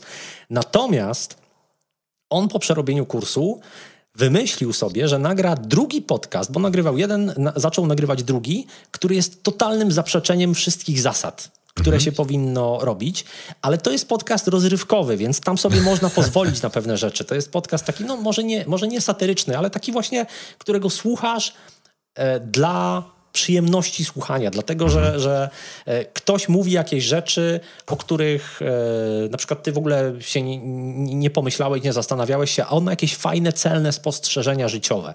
Mhm. Więc e, to jest trochę inna bajka, ale Znowu, zupełnie czym innym jest łamanie zasad w momencie, kiedy masz świadomość tych zasad, kiedy nagrałeś ileś odcinków zgodnie z tymi zasadami i robisz celowo coś w kontrze, niż po prostu błądzenie po omacku. No tak. bo, bo to mhm. jest inna bajka, więc... Mhm. Ale to też pokazuje właśnie, jak ile jest jeszcze miejsca na przeróżnego rodzaju formy, że podcast to nie jest tylko taka forma, że okej, okay, zadaję pytanie, mam gościa, on odpowiada i w ogóle wszystko jest tak sztywno, poustawiane, albo mam jakiś monolog i przygotowałem sobie tutaj teraz wszystko powiem i powiem to w taki, nie inny sposób, tylko po prostu jest i rozrywkowo może być, i może być totalne zaprzeczenie, kontrasty, także może nie tak jak mówisz, trzeba być świadomym i fajnie, że robisz właśnie taki kurs, który może właśnie ludziom pomóc uświadomić, jakie są y, zasady, w jaki sposób to robić, żeby to, żeby to brzmiało, żeby to było dobre, żeby to było ciekawe, ale z drugiej strony y, każdy z nas może mieć swój własny pomysł i swój własny y, czuć w jakiś inny sposób i zrobić to tak, jak on czuje. Czyli niekoniecznie musi y, mieć narzucaną formę od kogoś, nie trzeba kąpiować kogoś, tylko po prostu robić to po swojemu. Zdecydowanie. Ja na przykład nie wiem, pewnie może zauważyłeś też to, ale na przykład ten podcast robię w ten sposób, że ja się do niego nie przygotowuję. To znaczy, nikomu nie wysyłam listy pytań, to by też nie wysłałem. E, rzadko mówię, o czym będziemy rozmawiać. Przeważnie to rozmawiamy po prostu o tej osobie i staram się skupić i być ciekawy, e, co ta osoba robi, jakie są jej doświadczenia. I powiem szczerze, że od początku tak robiłem, nie będąc świadomy, czy to będzie ok, czy nie ok, ale się okazało, sprawdziło się. Ludzie lubią właśnie taką formę. luźną, czasami to wychodzi lepiej, czasami gorzej. Ja się gorzej oceniam przeważnie niż moi słuchacze, e, bo mówię, o jejku, mi to nie wyszło, a później się okazuje, że nie, no stary, bardzo fajny odcinek w ogóle, super było, nie? Tak, tak, to mam to samo. więc dobrze, więc e, kiedy uruchamiasz kurs i, e, i gdzie można go kupić? E, najbliższa edycja, nie wiem kiedy ukaże się ten odcinek, więc e, nie, nie, wiem, czy to nie będzie już po terminie. Natomiast najbliższa edycja e, startuje 15 października 2018 i będzie sprzedaż trwała od poniedziałku do piątku. Piątek to jest chyba 19, 16, 17, 18, tak, 19. Więc od poniedziałku do piątku takie pięciodniowe okienko. E, natomiast dla tych, którzy będą słuchać później, no to kolejna edycja, nie wiem jeszcze kiedy, nie mam jeszcze daty, na pewno nie w 2018 roku. E, w 2019 też raczej nie w styczniu i w lutym, więc najwcześniej prawdopodobnie w marcu 2019. Natomiast y, wiem, że są osoby, które y, często, nawet tuż po zakończeniu edycji, pytają: No to kiedy kolejna, kiedy kolejna? Więc zawsze dla takich osób na stronie podcastpro.pl jest po prostu okienko, gdzie można zostawić swój adres e-mail, i wtedy, kiedy już jest znana data kolejnej edycji, kiedy ja już ją po prostu ustalę i E, wiem, że to wtedy ruszy, wysyłam takie powiadomienie, więc e, osoby, które się tam zapisują, mają ten komfort psychiczny, że nie muszą sprawdzać co trzy dni, czy tam się coś zmieniło, ale po prostu dostają maila z powiadomieniem wtedy, kiedy kolejna edycja się zbliża. Mhm. Marek, co byś powiedział mi? Ja chcę teraz na koniec y, usłyszeć twój głos krytyczny. Rozmawiamy godzinę 50 minut. Dotknęliśmy zarówno twojej osoby, twojej historii, twojego, jego, twojego biznesu, twoich doświadczeń y, z przeprowadzania się z Polski do Wielkiej Brytanii. Teraz rozmawiamy o twoim podcaście i produktach, które sprzedajesz. Czy według ciebie, jakbyś to ocenił, nie jest tego za dużo na jeden odcinek? czy no właśnie, próbuję od ciebie otrzymać takie zdanie. Jak sądzisz, czy nie powinienem z Markiem Jankowskim nagrać cztery osobne odcinki na, i każdy na inny temat?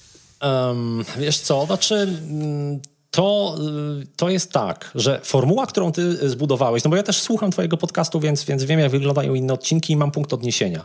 Hmm? U ciebie rzeczywiście, tak jak powiedziałeś, e, w centrum uwagi jest gość. I ty nie musisz przygotowywać pytań, dlatego że ty wystarczy, że masz mgliste pojęcie o tym, co ten gość robi, na tyle uważnie słuchasz, że zadajesz mądre, sensowne pytania na podstawie tej swojej wiedzy, którą masz i na podstawie tego, co ten gość mówi, i na podstawie swojego doświadczenia życiowego oczywiście. I e, ponieważ ta formuła jest taka, a nie inna i ponieważ też przyzwyczaiłeś słuchaczy do tego, że te twoje rozmowy są właśnie takie, to u ciebie myślę, ta formuła jest, jest dobra. To znaczy, gdybyś ty zmienił ją nagle i zaczął robić takie odcinki monotematyczne e, i gdzieś być może ten gość by powracał, ale z innym zupełnie wątkiem swojego życia, to myślę, że słuchacze mieliby takie poczucie, że to jest takie trochę pobieżne. Mhm. Że e, tak jak wcześniej się zagłębiałeś w tego gościa i oni mogli się czegoś ciekawego dowiedzieć, to nagle stracili to poczucie, czegoś im zaczyna brakować. Więc e, to jest, to jest kwestia formuły. E, I myślę, że w tym przypadku ta formuła świetnie też pasuje do Twojej osobowości i do tego, jak Ty dobierasz gości, bo e, u Ciebie się nie pojawiają przypadkowe osoby. Znaczy, widać, że Ty celujesz w pewne osoby z różnych względów. To też nie jest tak, że to jest ciągle klon tej samej osoby. To są bardzo różni ludzie, ale ty nie wybierasz ich przypadkowo. I podejrzewam, że gdyby napisał do ciebie jakiś człowiek zupełnie, nie wiem, którego nie znasz. I on nie odpowiadałby jakimś twoim kryterium, które nie wiem, czy masz zdefiniowane, czy nie, ale czułbyś, że to nie jest właściwa osoba, to ty byś go nie zapraszał po prostu, bo, bo to, by był, to, to nie byłoby, e, nie czułbyś się z tym dobrze. Więc e, ja uważam, że w twoim przypadku i w przypadku twojego podcastu taka formuła jest jak najbardziej okej. Okay. No, świetnie. Wiesz co, dokładnie opisałeś to, co czuję i to po prostu tak siedzę i ach, czuję się dobrze w tym momencie. A, bo mm, jakby potwierdza to, co ja czuję, że jednak robię to dobrze. To znaczy, pomimo tego, że to jest długie e, czasami, pomimo tego, że. Bo to są różne odcinki, od 40 minut do 2 godzin. E, to po prostu zależy od tego, ile ja jestem ciekawy i chcę wyciągnąć od tego gościa, co mnie interesuje. I zawsze staram się patrzeć pod kątem tego, jak słuchacz by zareagował w tym momencie, co mhm. jego tu może zaciekawić, gdzie tutaj jeszcze możemy wyciągnąć jakiś, jakiś taki juice. Nie tak pobieżnie właśnie przejść, a masz firmę, okej, okay, okej, okay. tam zatrudniłeś pracownika, dobrze, okej. Okay nie. Zobaczmy, jak ten proces wyglądał. Wiesz, to było trudne, łatwe, żeby ludziom pomóc jak najbardziej.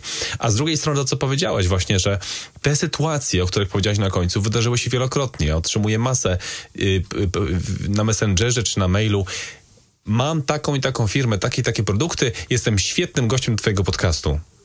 Okej. Okay. Ale to mnie nie przekonuje, prawda? Tak. Um, ja muszę poczuć, że to jest faktycznie coś, co ja mogę pokopać, pogrzebać, y, poznać bardziej, to ja bardziej patrzę na człowieka niż na jego, nie wiem, osiągnięcia yy, i jakieś tam może przekonania, czy coś w tym stylu. Po prostu to jest coś, co dobrze trafnie nazwałeś czuciem, mhm. że ja muszę to poczuć, e, a nie, że przeczytam informację, ktoś mi się pochwali, co on osiągnął i już będzie gościem mojego podcastu.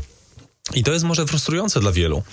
E, ja z góry mówię, jeżeli ktoś słucha mnie teraz, e, a, a próbował w ten sposób się dostać do mojego podcastu i nie odpowiedziałem, to nie dlatego, że cię nie szanuję, że nie chce mi się odpowiadać, czy bo po prostu mam tego sporo, a, a nie tak dobieram gości. Także Marek, dziękuję ci za ten komentarz, bo też byłem w stanie jakby teraz może wypowiedzieć się i powiedzieć, w jaki sposób to się w ogóle odbywa um, i gdzie, mam nadzieję, moi słuchacze otrzymują tą wartość. Także, kochani, Marka poznaliście dzisiaj. E, jego kurs pod adresem podcastpro.pl, e, jego podcast maławielkafirma.pl. E, co jeszcze, Marek? Jak można z Tobą się skontaktować? E, no można mnie znaleźć e, na Facebooku, chociaż tam staram się zaglądać jak najrzadziej. Ostatnio sobie zainstalowałem taki, e, taką wtyczkę do Chroma, która w ogóle wycina feed Facebooka. Zrobiłem to ze dwa dni temu, więc jest to nowe doświadczenie. Nie wiem, czy wytrwam z tym, ale na razie czuję się z tym świetnie. W ogóle nie widzę feedu. Po prostu widzę tylko powiadomienia, te, które mnie obchodzą, a całej reszty nie mam. Przynajmniej na komputerze, więc, więc to, jest, to jest fajne. Więc Facebook yy, przede wszystkim, ale, ale głównie, głównie mała wielka firma.pl, no bo tam, tam jestem najczęściej, tam się pojawiają nowe odcinki. Jeszcze w uzupełnieniu tego, co powiedziałeś, chciałem powiedzieć jedną rzecz, która myślę i tobie, i mnie, mam nadzieję, e, pomoże odsiać choć kilku takich nietrafionych gości. E, ja wiem, że podcasty stały się już na tyle popularne, że ludzie chcą się wbić do podcastów, żeby się promować, czy tam swoją firmę. I warto sobie zdać sprawę, że podcast to jest medium bardzo, bardzo osobiste. Osoba podcastera ma ogromny wpływ na podcast. I to nie jest tak, że idziesz sobie do jednej, drugiej, trzeciej, piątej telewizji i tam opowiadasz tak naprawdę to samo i, i dziennikarze, z którymi rozmawiasz, przepytują cię, ale, ale oni nie biorą tego osobiście. Oni są reprezentantami jakiegoś brandu medialnego. Kiedy przychodzisz jako gość do podcastu, to jest to um, spotkanie człowieka z człowiekiem. Więc y, zawsze y, warto wziąć poprawkę na to, że może ten podcaster, do którego ja się tak bardzo chcę wbić i z którym się kontaktuję, to nie jest dobra, y, to nie jest osoba, do której ja pasuję, albo to nie jest osoba, która pasuje do mnie. Tutaj musi być ta chemia, żeby rozmowa dobrze wypadła. Więc y, każdemu radzę, każdemu, kto chciałby się wbić do Twojego podcastu, żeby najpierw posłuchał kilku odcinków E, jak się zmęczy i przestanie, to znaczy, że prawdopodobnie nie pasuje. Tak. A jak się wkręci i mu się spodoba i będzie chciał posłuchać kolejnych, to wtedy jest szansa, że on też się sprawdzi u ciebie jako gość. Tak, oczywiście. Ten entuzjazm kogoś, kto angażuje się jako słuchacz e, i wierzy w to, co mówią, e, to, co ja mówię podczas tego podcastu, co mówią moi goście, zaczyna tym żyć, to jest na pewno osoba, która, której będzie zdecydowanie łatwiej przekonać mnie do tego, nie? Znaczy nie przekonywać, tylko po prostu mnie poznać, bo to o to chodzi. Tak. Ja zapraszam ludzi, których poznałem, albo którzy niesamowicie mnie interesują z jakiegoś powodu, nie? A nie po prostu kogoś, kto coś tam osiągnął. Także, kochani, wizytówką starajcie się nie sprzedawać siebie. Tak jest. Dobrze, Marek, super. E, pomimo tego, że dotknęliśmy tak szer- szerokich tematów, mam nadzieję, że wszyscy dotrwali do końca. E, bardzo Ci dziękuję za to, że poświęciłeś ten czas teraz i, i fajnie porozmawialiśmy. Było bardzo miło mi. Mam nadzieję, że Ty też e, świetnie się bawiłeś. Tak, bardzo dziękuję za zaproszenie i, i cieszę się, że mieliśmy okazję pogadać. Super. Powodzenia w kolejnych podcastach, w programach, które uruchamiasz, we wszystkim, co robisz. Dzięki wielkie i również powodzenia, bo tem, też wiem, że robisz różne fajne rzeczy, więc oby się kręciło. Dzięki. Na koniec tego odcinka chciałem podziękować Ci za to, że jesteś. Za to, że słuchasz od początku do końca tych e, odcinków. Jest to wspaniałe wrażenie mówić teraz do Ciebie. Wiem, że słuchasz, dlatego jeżeli faktycznie jesteś tutaj w tym miejscu, to proszę Cię o to, żebyś e, dał mi znać, że tak jest, że faktycznie lubisz słuchać tych podcastów, że faktycznie dają Ci coś one.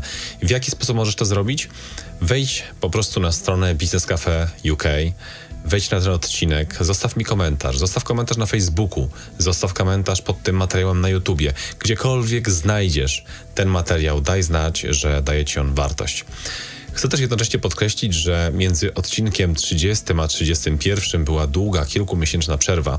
Musiałem zastanowić się nad tym, chciałem zastanowić się nad tym, w którym kierunku chcę dalej ten podcast rozwijać, z kim chcę rozmawiać, na jakie tematy. I widzę, że tak naprawdę interesują mnie bardzo sami ludzie e, i ich decyzje, a niekoniecznie interesują mnie tylko i wyłącznie drogi do sukcesu albo jakieś konkretne porady z jakiejś konkretnej dziedziny. Więc jeżeli chcesz wiedzieć, co dalej, e, jakie będzie następne co najmniej 30 odcinków, to będą to właśnie rozmowy z ludźmi bardziej, jeszcze bardziej życiowe, jeszcze bardziej e, autentyczne e, i pewnie coraz mniej będę przygotowywał się do tych odcinków, bo taka jest właśnie moja natura i w taki sposób chciałbym dzielić się Tobą wiedzą o innych ludziach, że jednocześnie, kiedy nagrywam ten odcinek, to jednocześnie w tym samym momencie odkrywam tego człowieka dla Ciebie, tak, żebyś tak samo się czuł, e, jak ja, kiedy zadaję te pytania. Dlatego, jeżeli ta forma też podoba Ci się, nie podoba się, napisz swój komentarz, daj znać, że jesteś. E, A fantastycznie byłoby, gdybyś dołączył też na listę subskrypcyjną. Wystarczy, że wejdziesz na stronę główną podcastu Business Cafe UK i tam będziesz mógł w, wpisać swoje imię oraz e-mail, aby otrzymywać innymi informa- informacje o nowych odcinkach. To tyle na dzisiaj. Wielkie dzięki za to, że, że jesteś jeszcze raz i do usłyszenia w następnym odcinku Biznes Cafe.